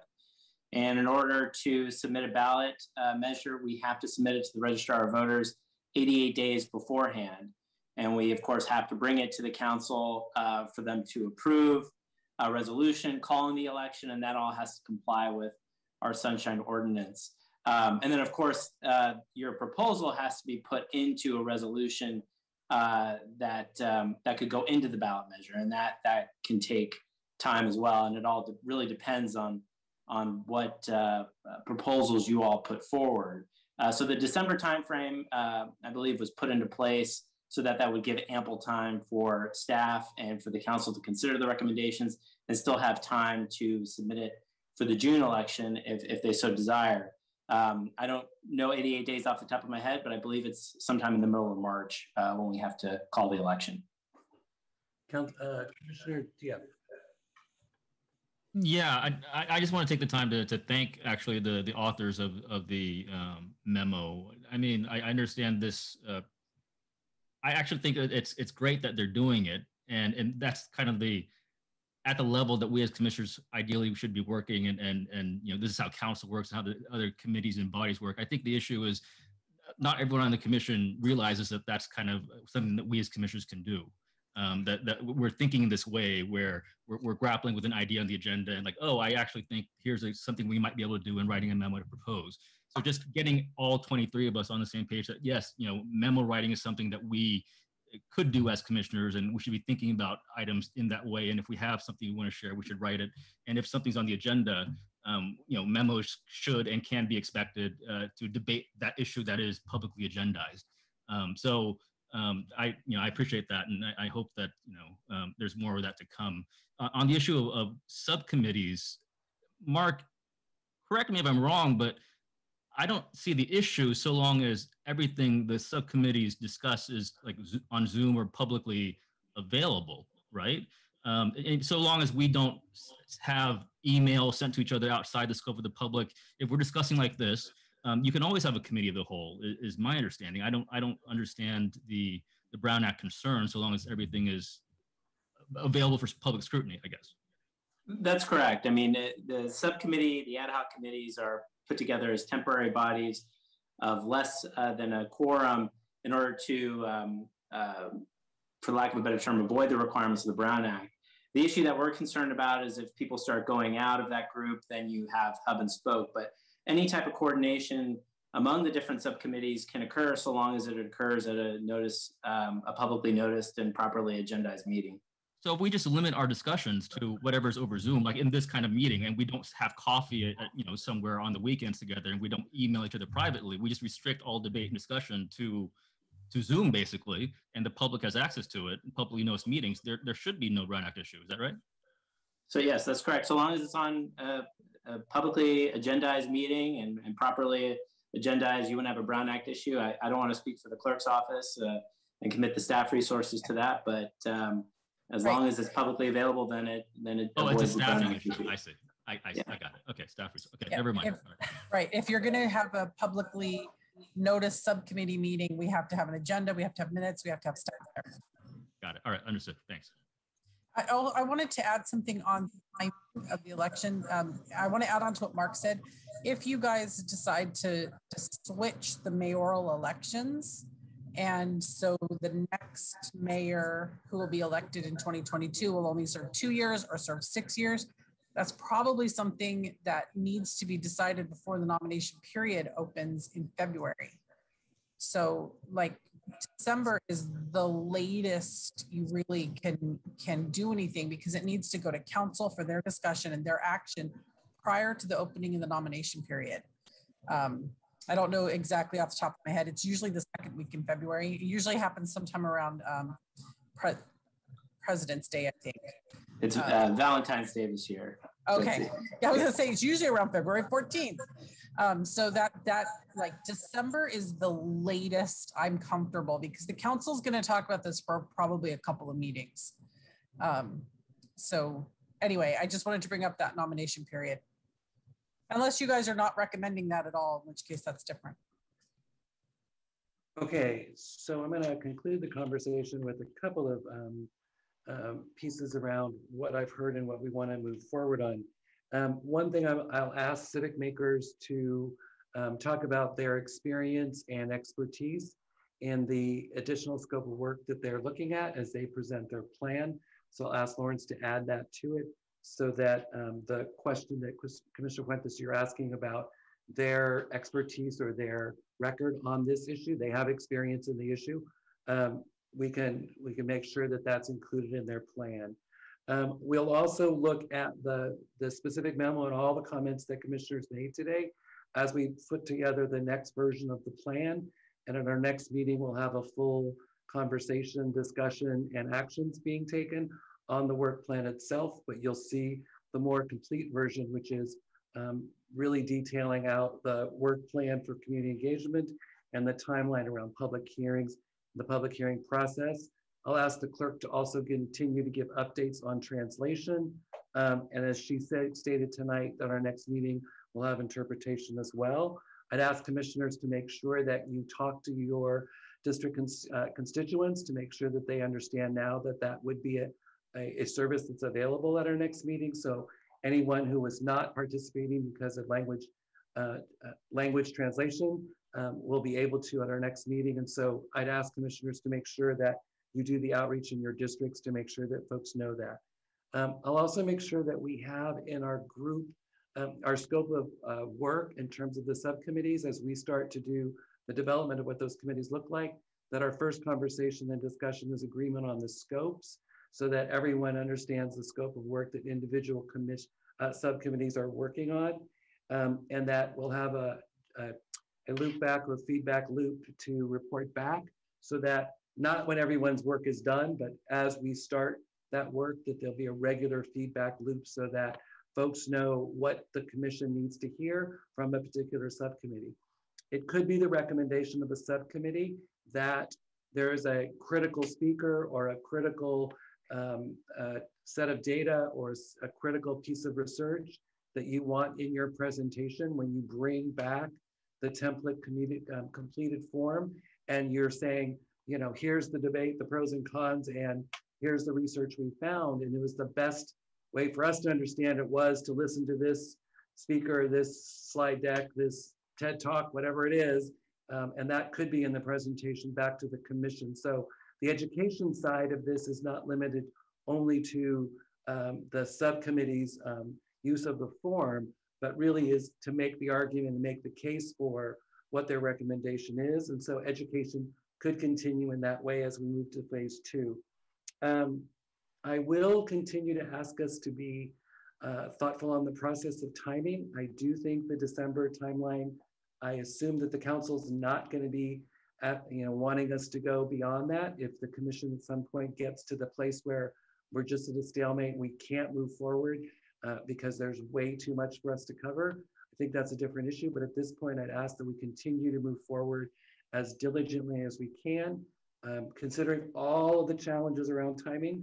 We're trying to get you to our that break that naturally happens in the calendar that month to get subcommittees organized so that you would be able to use that time in your subcommittee work.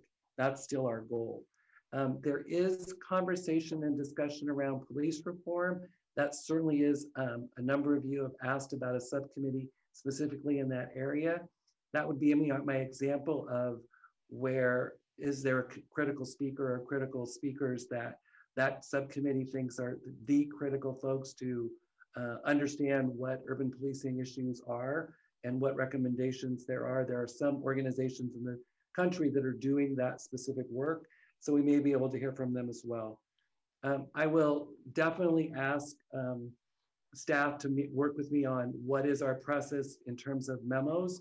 Um, certainly agree with you, Council, uh, Commissioner Diep, around um, the use of memos and the writing of memos, but remember we are not full-time council members. Um, these are volunteer commissioners.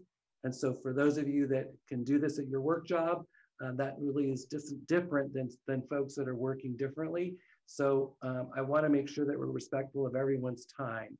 Um, but I'll try to figure out process-wise a better clarity around what our process is for handling memos and what the time frame will be when we get them and in response to our our Friday emails.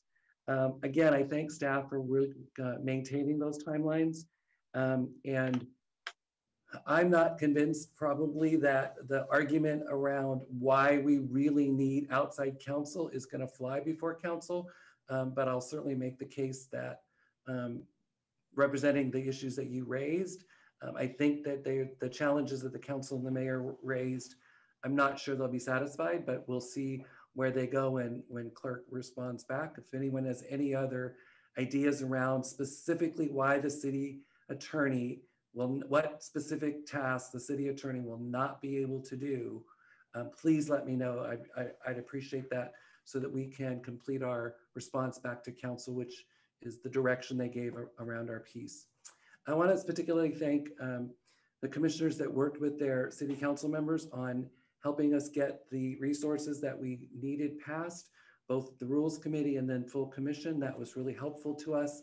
Um, and the work that made my job a lot easier to go before rules and the council to, to support the request for the additional resources and answer their questions, both from the mayor and our council members. So thanks to all those of you working in your districts. And that's the last thing I'll say is, don't forget you are the representatives of your districts. And so getting the engagement and, and the feedback from your constituencies within your districts is certainly a, a really important part of our community engagement.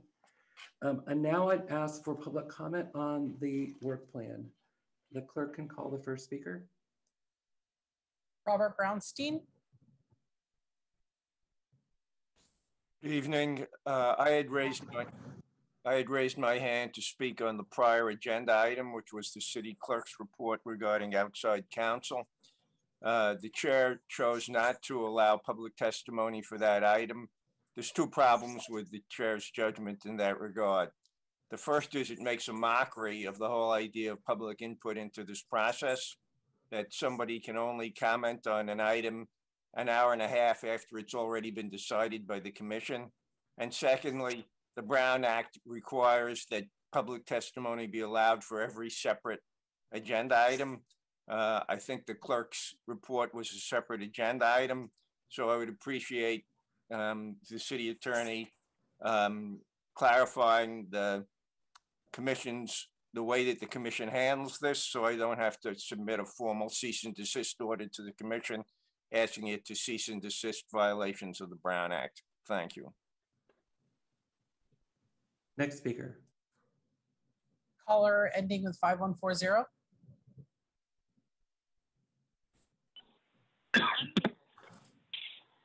Yeah, I mean, I just think that this city has to start getting back to the basics, you know, roads, infrastructure, uh, EMS response times. Excuse me, I have a problem here. Um, the the city is misguided by almost everything. They want to put road diet. They want to have road diet. They want to have all these weird things. Build these villages with only electricity, no natural gas. I don't understand. I mean, San Jose Police Department selling marijuana. I mean, they promote marijuana on their website. SJPD means San Jose pot dealers to me. You know, it was, it's disgusting. They used to bust people for marijuana. Now they're now they're promoting it. And oh, if you don't buy it from them and you're selling it, you're busted. You're growing it, you're busted. I don't even smoke marijuana. Matter of fact, I'm glad they made it legal. I'm benefiting with my tobacco stocks that I own. I'm just saying the hypocrisy of this city is unbelievable. And always wanting to increase fines. They want red light cameras that were made illegal because the city council and the uh, city hall and San Jose Police Department didn't have any red light cameras in and around where their offices were. How convenient that was, wasn't it? How hypocritical, double standard. And then all of a sudden they want to, you know, incorporate all these, you know, different groups of people. But meanwhile, they love giving tickets, fines, abusing their power. You've got this, the code enforcement coming around, making sure someone's fence is a certain height, even though it was approved already. You're trying to put a happy face on a real tyrannical government. I, before I said it was fascist, it's actually Zen fascist because you make everything seem so flowery and nice. Look who we have working here now, and look at look, you know, we're raising these flags up above our city hall representing whoever. Oh, we're lighting up the city hall. But meanwhile, look at what you do, and look at look at the downtown. That downtown is disgraceful. It looks like Detroit. I mean, the people from Detroit should come here and say, "Hey, what's the matter? You guys have all this money. You have a downtown that looks worse than ours." I mean, in my in my district alone, there's burned out buildings, burned out, burned out strip malls, bur- burned out homes, haven't been repaired for years and years and years. Really bad roads. I mean, third world like. Uh, you can't even finish repaving all these streets correctly because the the ring. The- The next speaker is Roland. Um, uh, th- Thank you, Mr. Chair. So a point of order, I'm going to speak uh, to this uh, work plan item. I'd like to come back for 30 seconds uh, to discuss electoral cycles under open forum.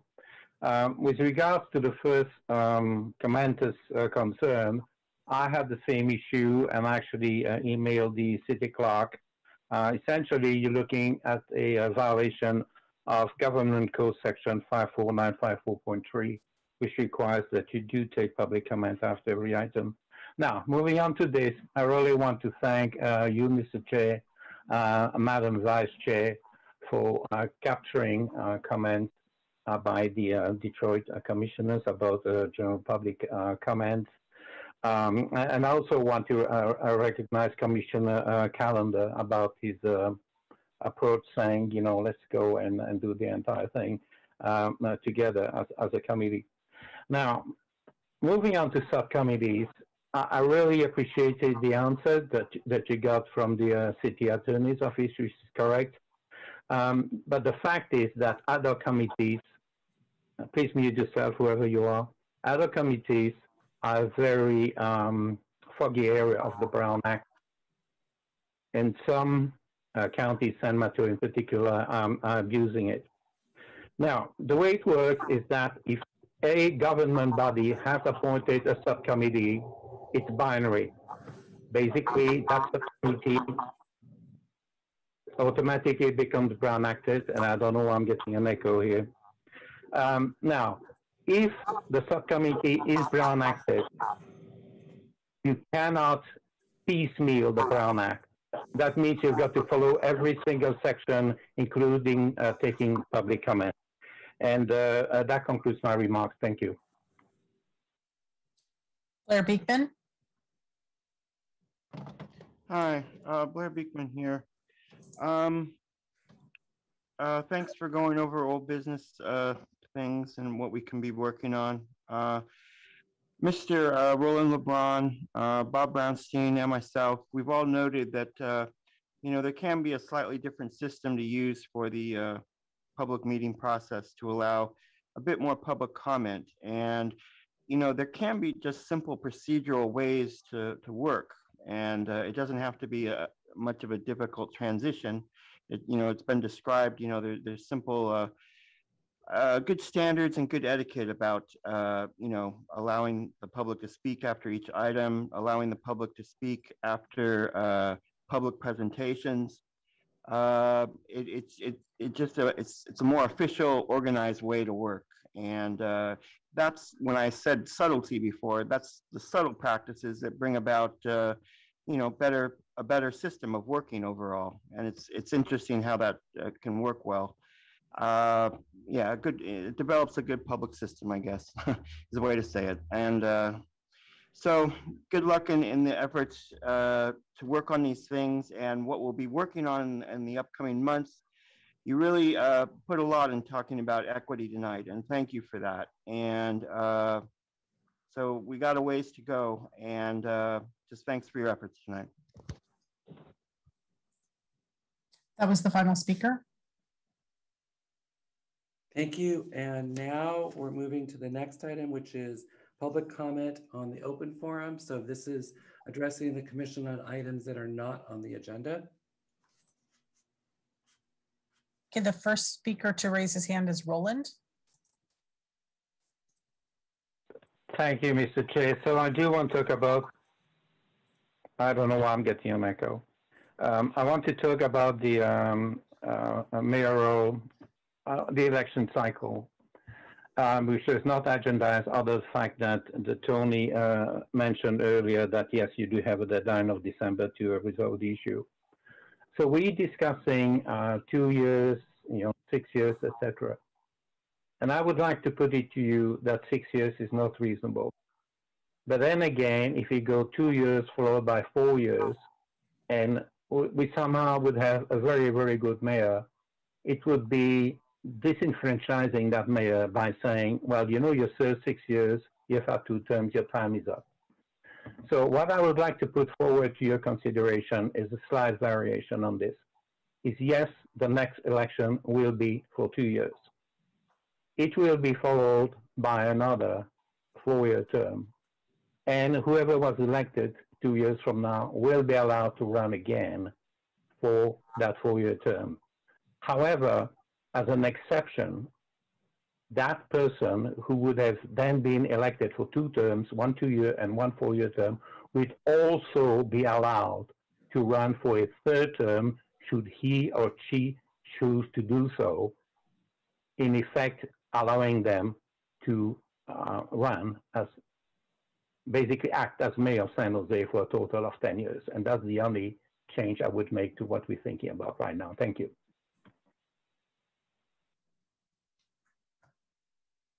Blair Beekman. Hi, uh, Blair Beekman here. Uh, thank you for the meeting tonight. Yeah, to, to work a good public process is addressing the ideas of equity, which is how I address equity.